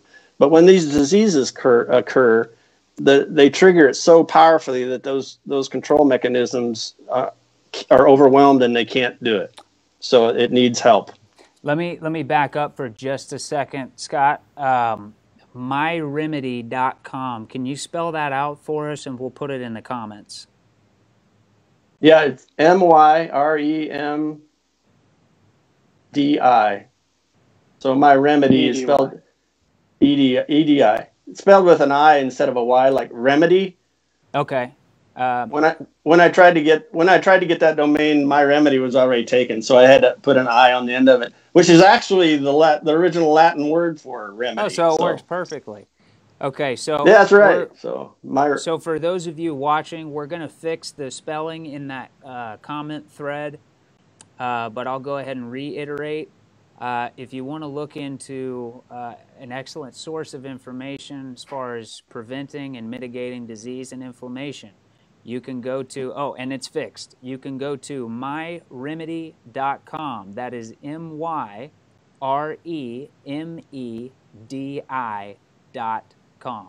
So that's another good source for preventing disease and inflammation. Um, and I think I think something important here is like, like we we don't know for sure that you know these things are going to stop uh, or or help you with hydroxy or with uh, COVID nineteen. Um, but these are just good, healthy practices that everyone should do anyway. Um, but with this particular illness, the hydroxychloroquine is showing to be the most effective in actually treating and stopping it with what we've seen so far. So yeah. I, I, don't, I haven't, we haven't seen good evidence of other home remedies that no. are stopping this. No, this, no, that I agree. I, I wouldn't.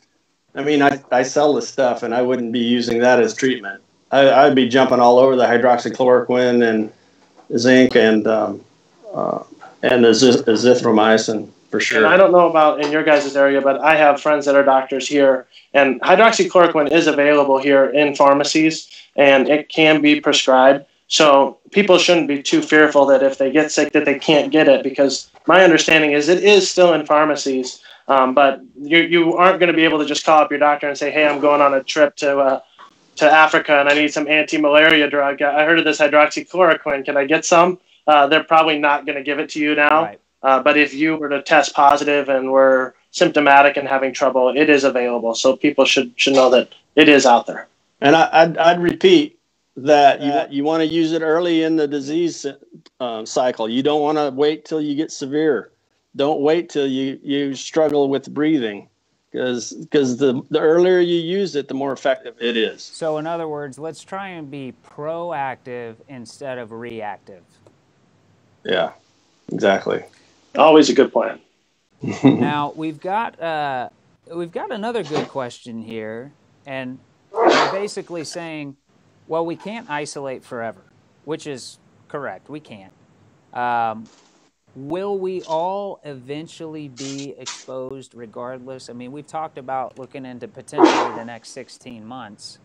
Um, and we've also talked about, you know, redefining BC, uh, you know, before coronavirus, after coronavirus. So um, they're saying, look, I understand flattening the curve, but are we looking at eventual worldwide exposure? Is this something that we're going to live with that'll be recurring like an influenza? I mean, what are we looking at here?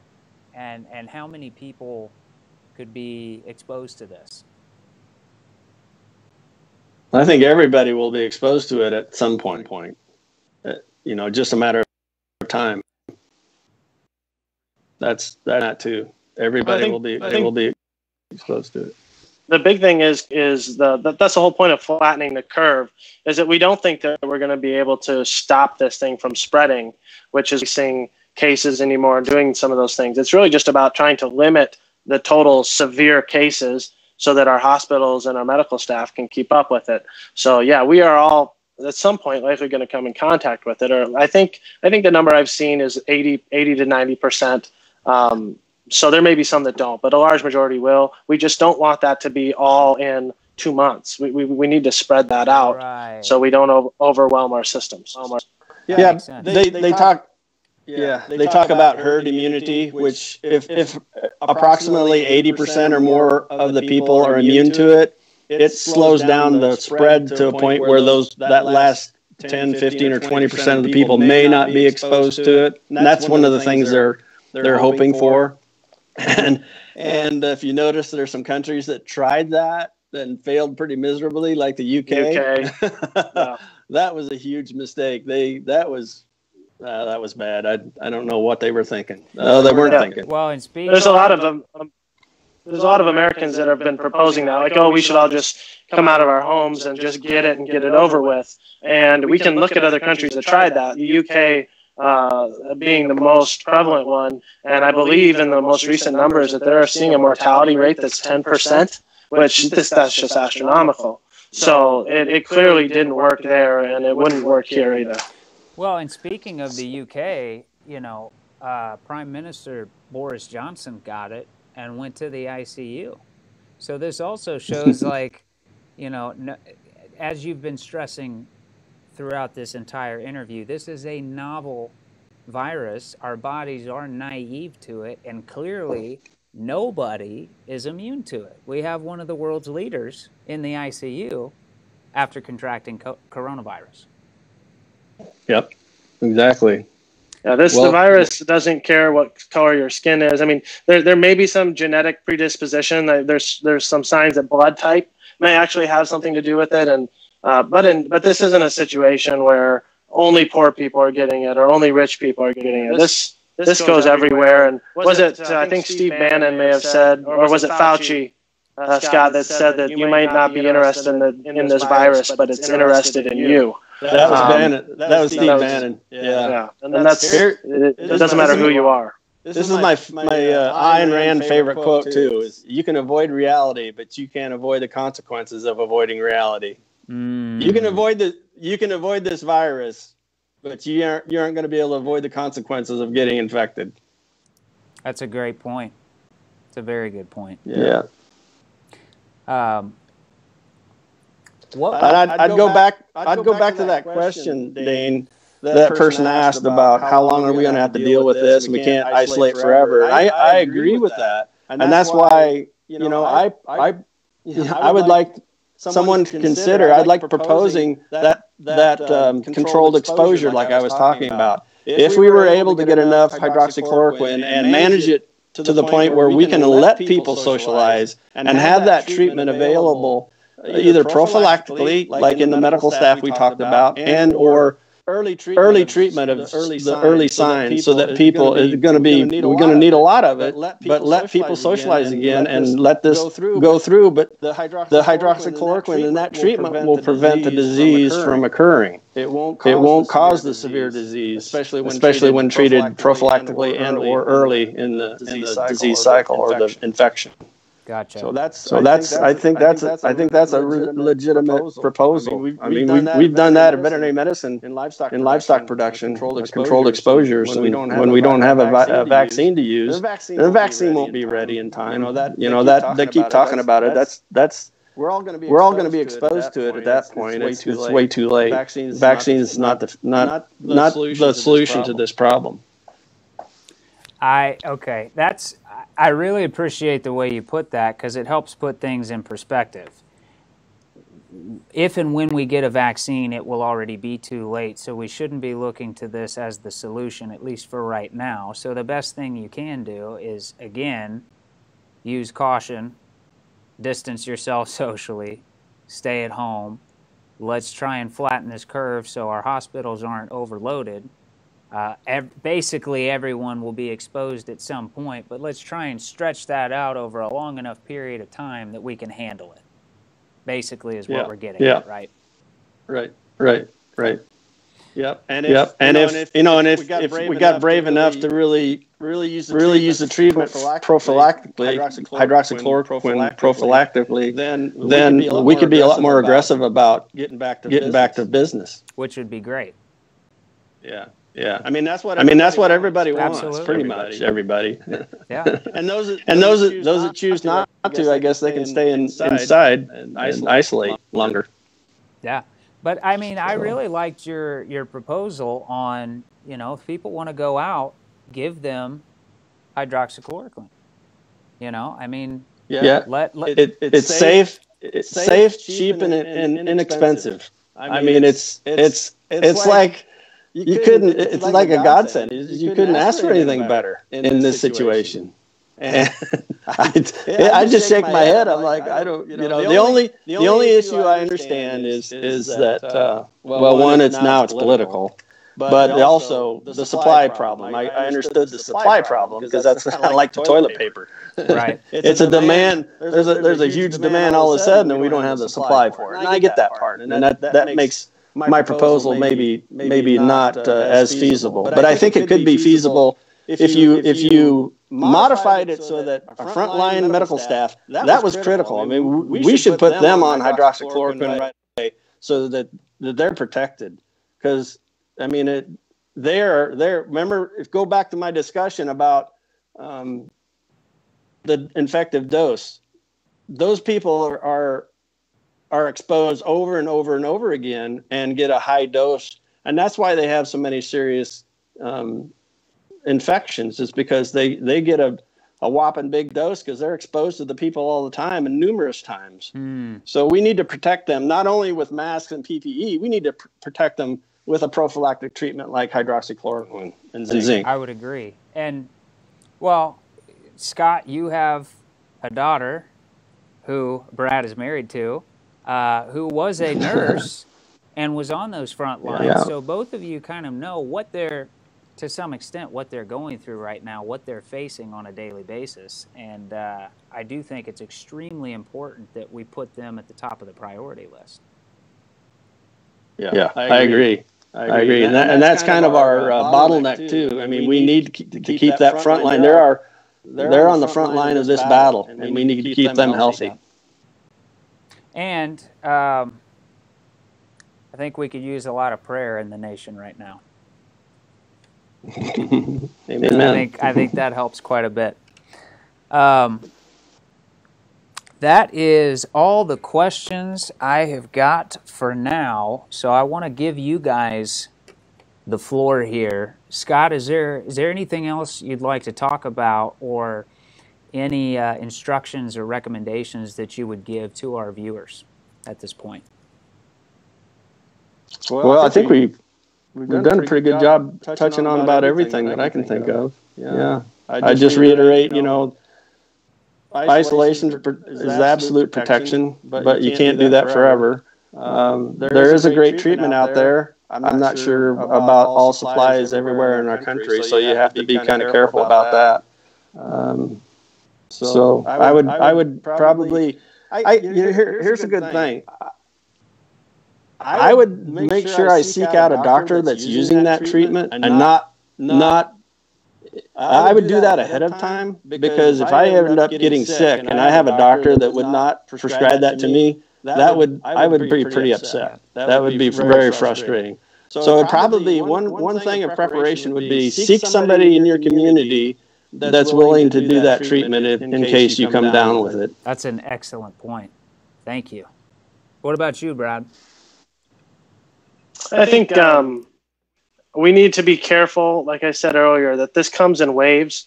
And I think we may be seeing a, a peak in certain regions and certain cities where we're going to start relaxing these things because we, we've seen a peak. Um, and I think it'll start to come back down. But we all just need to be aware that the virus is still out there and we should still consider continue to be careful and vigilant uh, and not think that just because case numbers are, are coming down and death rates are coming down in the short term that we're done with this forever uh, because we haven't done anything to actually uh, rid ourselves of this virus. We're, we're really just controlling um, it, its infection rate. So um, we just need to be careful and vigilant, really, for for a considerable amount of time. So, so don't, don't, get lax just because things are getting better. We should be grateful, be happy things are getting better. Continue to hope for the best, but I wouldn't stop uh, being vigilant and preparing just in case. Absolutely. I'd add, I'd add those those are great points, and I'd add kind of kind of dovetails with this is that you know when I think there, we think well I just get it over with, get exposed to it, and get immunity, and go on with life, and then I'm I'm studying this virus and the things it can do to you, and the sequela that I talked about before, the long life lasting sequela. You know, you could get fibrosis in your lungs, you can have some remnants. You could maybe be latent and cause undulant fever. So it could be a lifelong problem in some people. So I'm like, I don't, really think I want to get exposed to this. So before, before we before we really have a good handle on this thing, I I would be I would be cautious, especially if you're older. I'm 62, for example, and I'm I'm kind of in that age where I have to be careful. Um, and yeah, yeah I, and even then, I I just I, I, I well, when, when this whole thing started, I would say, when in doubt, err on the side of caution with, when dealing with this thing because we don't know enough about it, and and so you know it was prepare for the worst and hope for the best. And it, and it seems like, the worst is kind of showing up. And I'm not being dramatic. I'm just saying it, it on that spectrum, it, it's on the bad side. We don't, we don't know enough about this virus. Um, all, all the details, and what, what, what sequela and whatever else it can do over time. So, so I, I, respect it and, and err on the side of caution whenever you can. That's why, That's why we've, we've, worked hard to prepare and, and, and tried to keep from being, from being exposed, exposed to, this. Well, and on the heels of what you and Brad have both said, as far as erring on the side of caution, and that we may be looking at a peak, but these things come in waves. I think it's very important to put this whole situation into perspective. And uh, one of the things that I'm referring to specifically is timeline. So I know that being locked in our houses on a daily basis makes it feel as though this has been going on forever. It, uh, it distorts our perception of time. But the reality is, we're just getting started. And this is a novel virus. And our bodies and immune systems are completely naive to it. We're only a few months in at this point, four or five months, I guess. Uh, so there's still a, a, world of information that we don't know. So, agreeing with what Brad had said previously, just just because we see uh, a, a decrease in cases doesn't mean that we're out of the woods yet. So also going back to what you've said, Dr. Scott, it's it's so important to err on the side of caution. Absolutely. Stay, Stay safe. safe. Absolutely. There's one other thing I wanted to mention really quick, um, we, because we've been talking about reliable sources that uh, aren't putting bias or, or slants or tilts on it. Uh, and, and, we name dropped Steve Bannon earlier. Um, Steve Bannon has been very diligent on his research and uh, the information that he's putting out. Uh, for those of you watching, uh, we've already recommended the Epoch Times. That is E P O C H Times. Uh, on YouTube, they have uh, the first documentary on COVID 19 with a very detailed timeline. I think that's a great uh, video for you guys to watch. But also, Steve Bannon has a podcast called War Room Epidemic. And, and Brad, you're actually more. Or pan. Oh, thank you. Yeah, yeah War, War Room, Pandemic. War Room Pandemic. Yep. Steve and, he's, Bannon. And he's, and he's, he's, he started that, I believe, Scott, back in January. So he has been on this way early. He had experts on in early February and January about the the possibility for shortages in pharmaceuticals, and he had the CEO of the only plant in the United States that makes N95 masks. He had that guy on. so he's had really, really good guests. Uh, and that's something that people want to do some research. Um, that that is information that was not uh, given with any bias at that point. Like the the mainstream media had not latched onto this. It had not become a political football yet. So a lot of that data and information that was coming out in late January and early February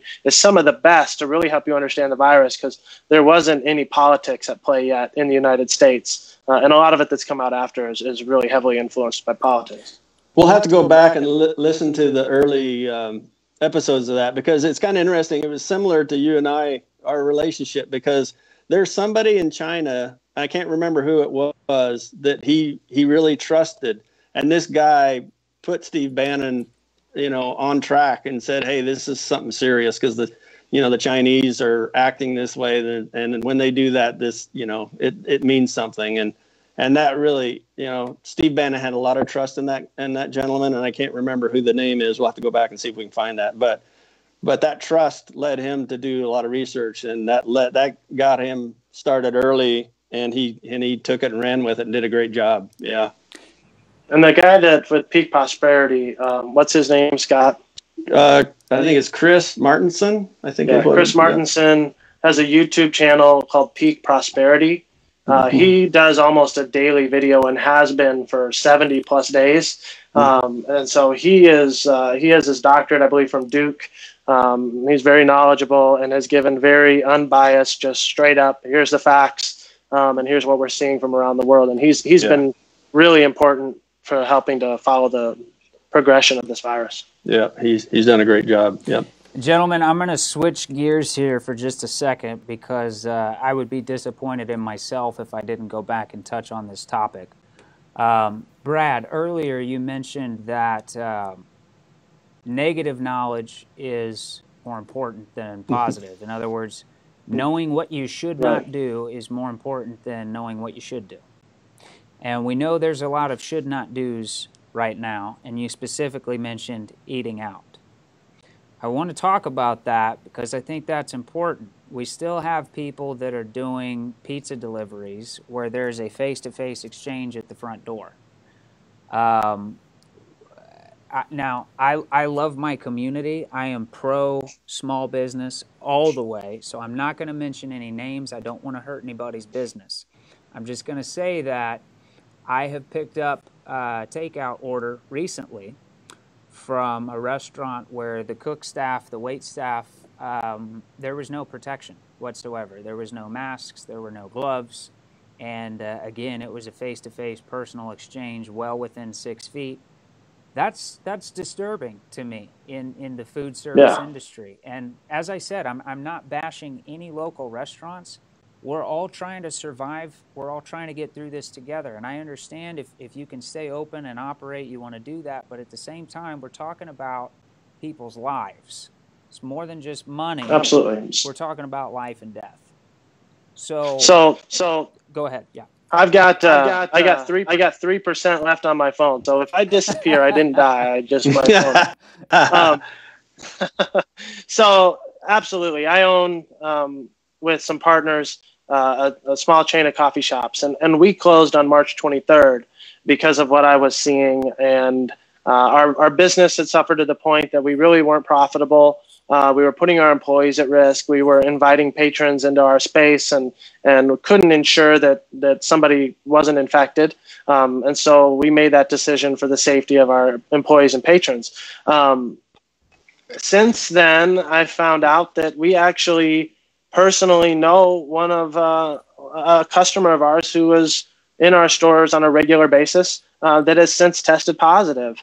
And the timeline would show that that person likely tested positive or, or contracted the illness within a matter of days after we closed. So if we have would have remained open for an additional week, uh, it's highly likely that our staff would have been exposed to the to the virus at some point. So, oh, thanks. Hi, Dad. For those of you watching, um, that's Hannah um, Lepper. That's Dr. Scott Taylor's daughter and Brad Lepper's wife. and she is she's trying to bail me out. Awesome. She's a great woman.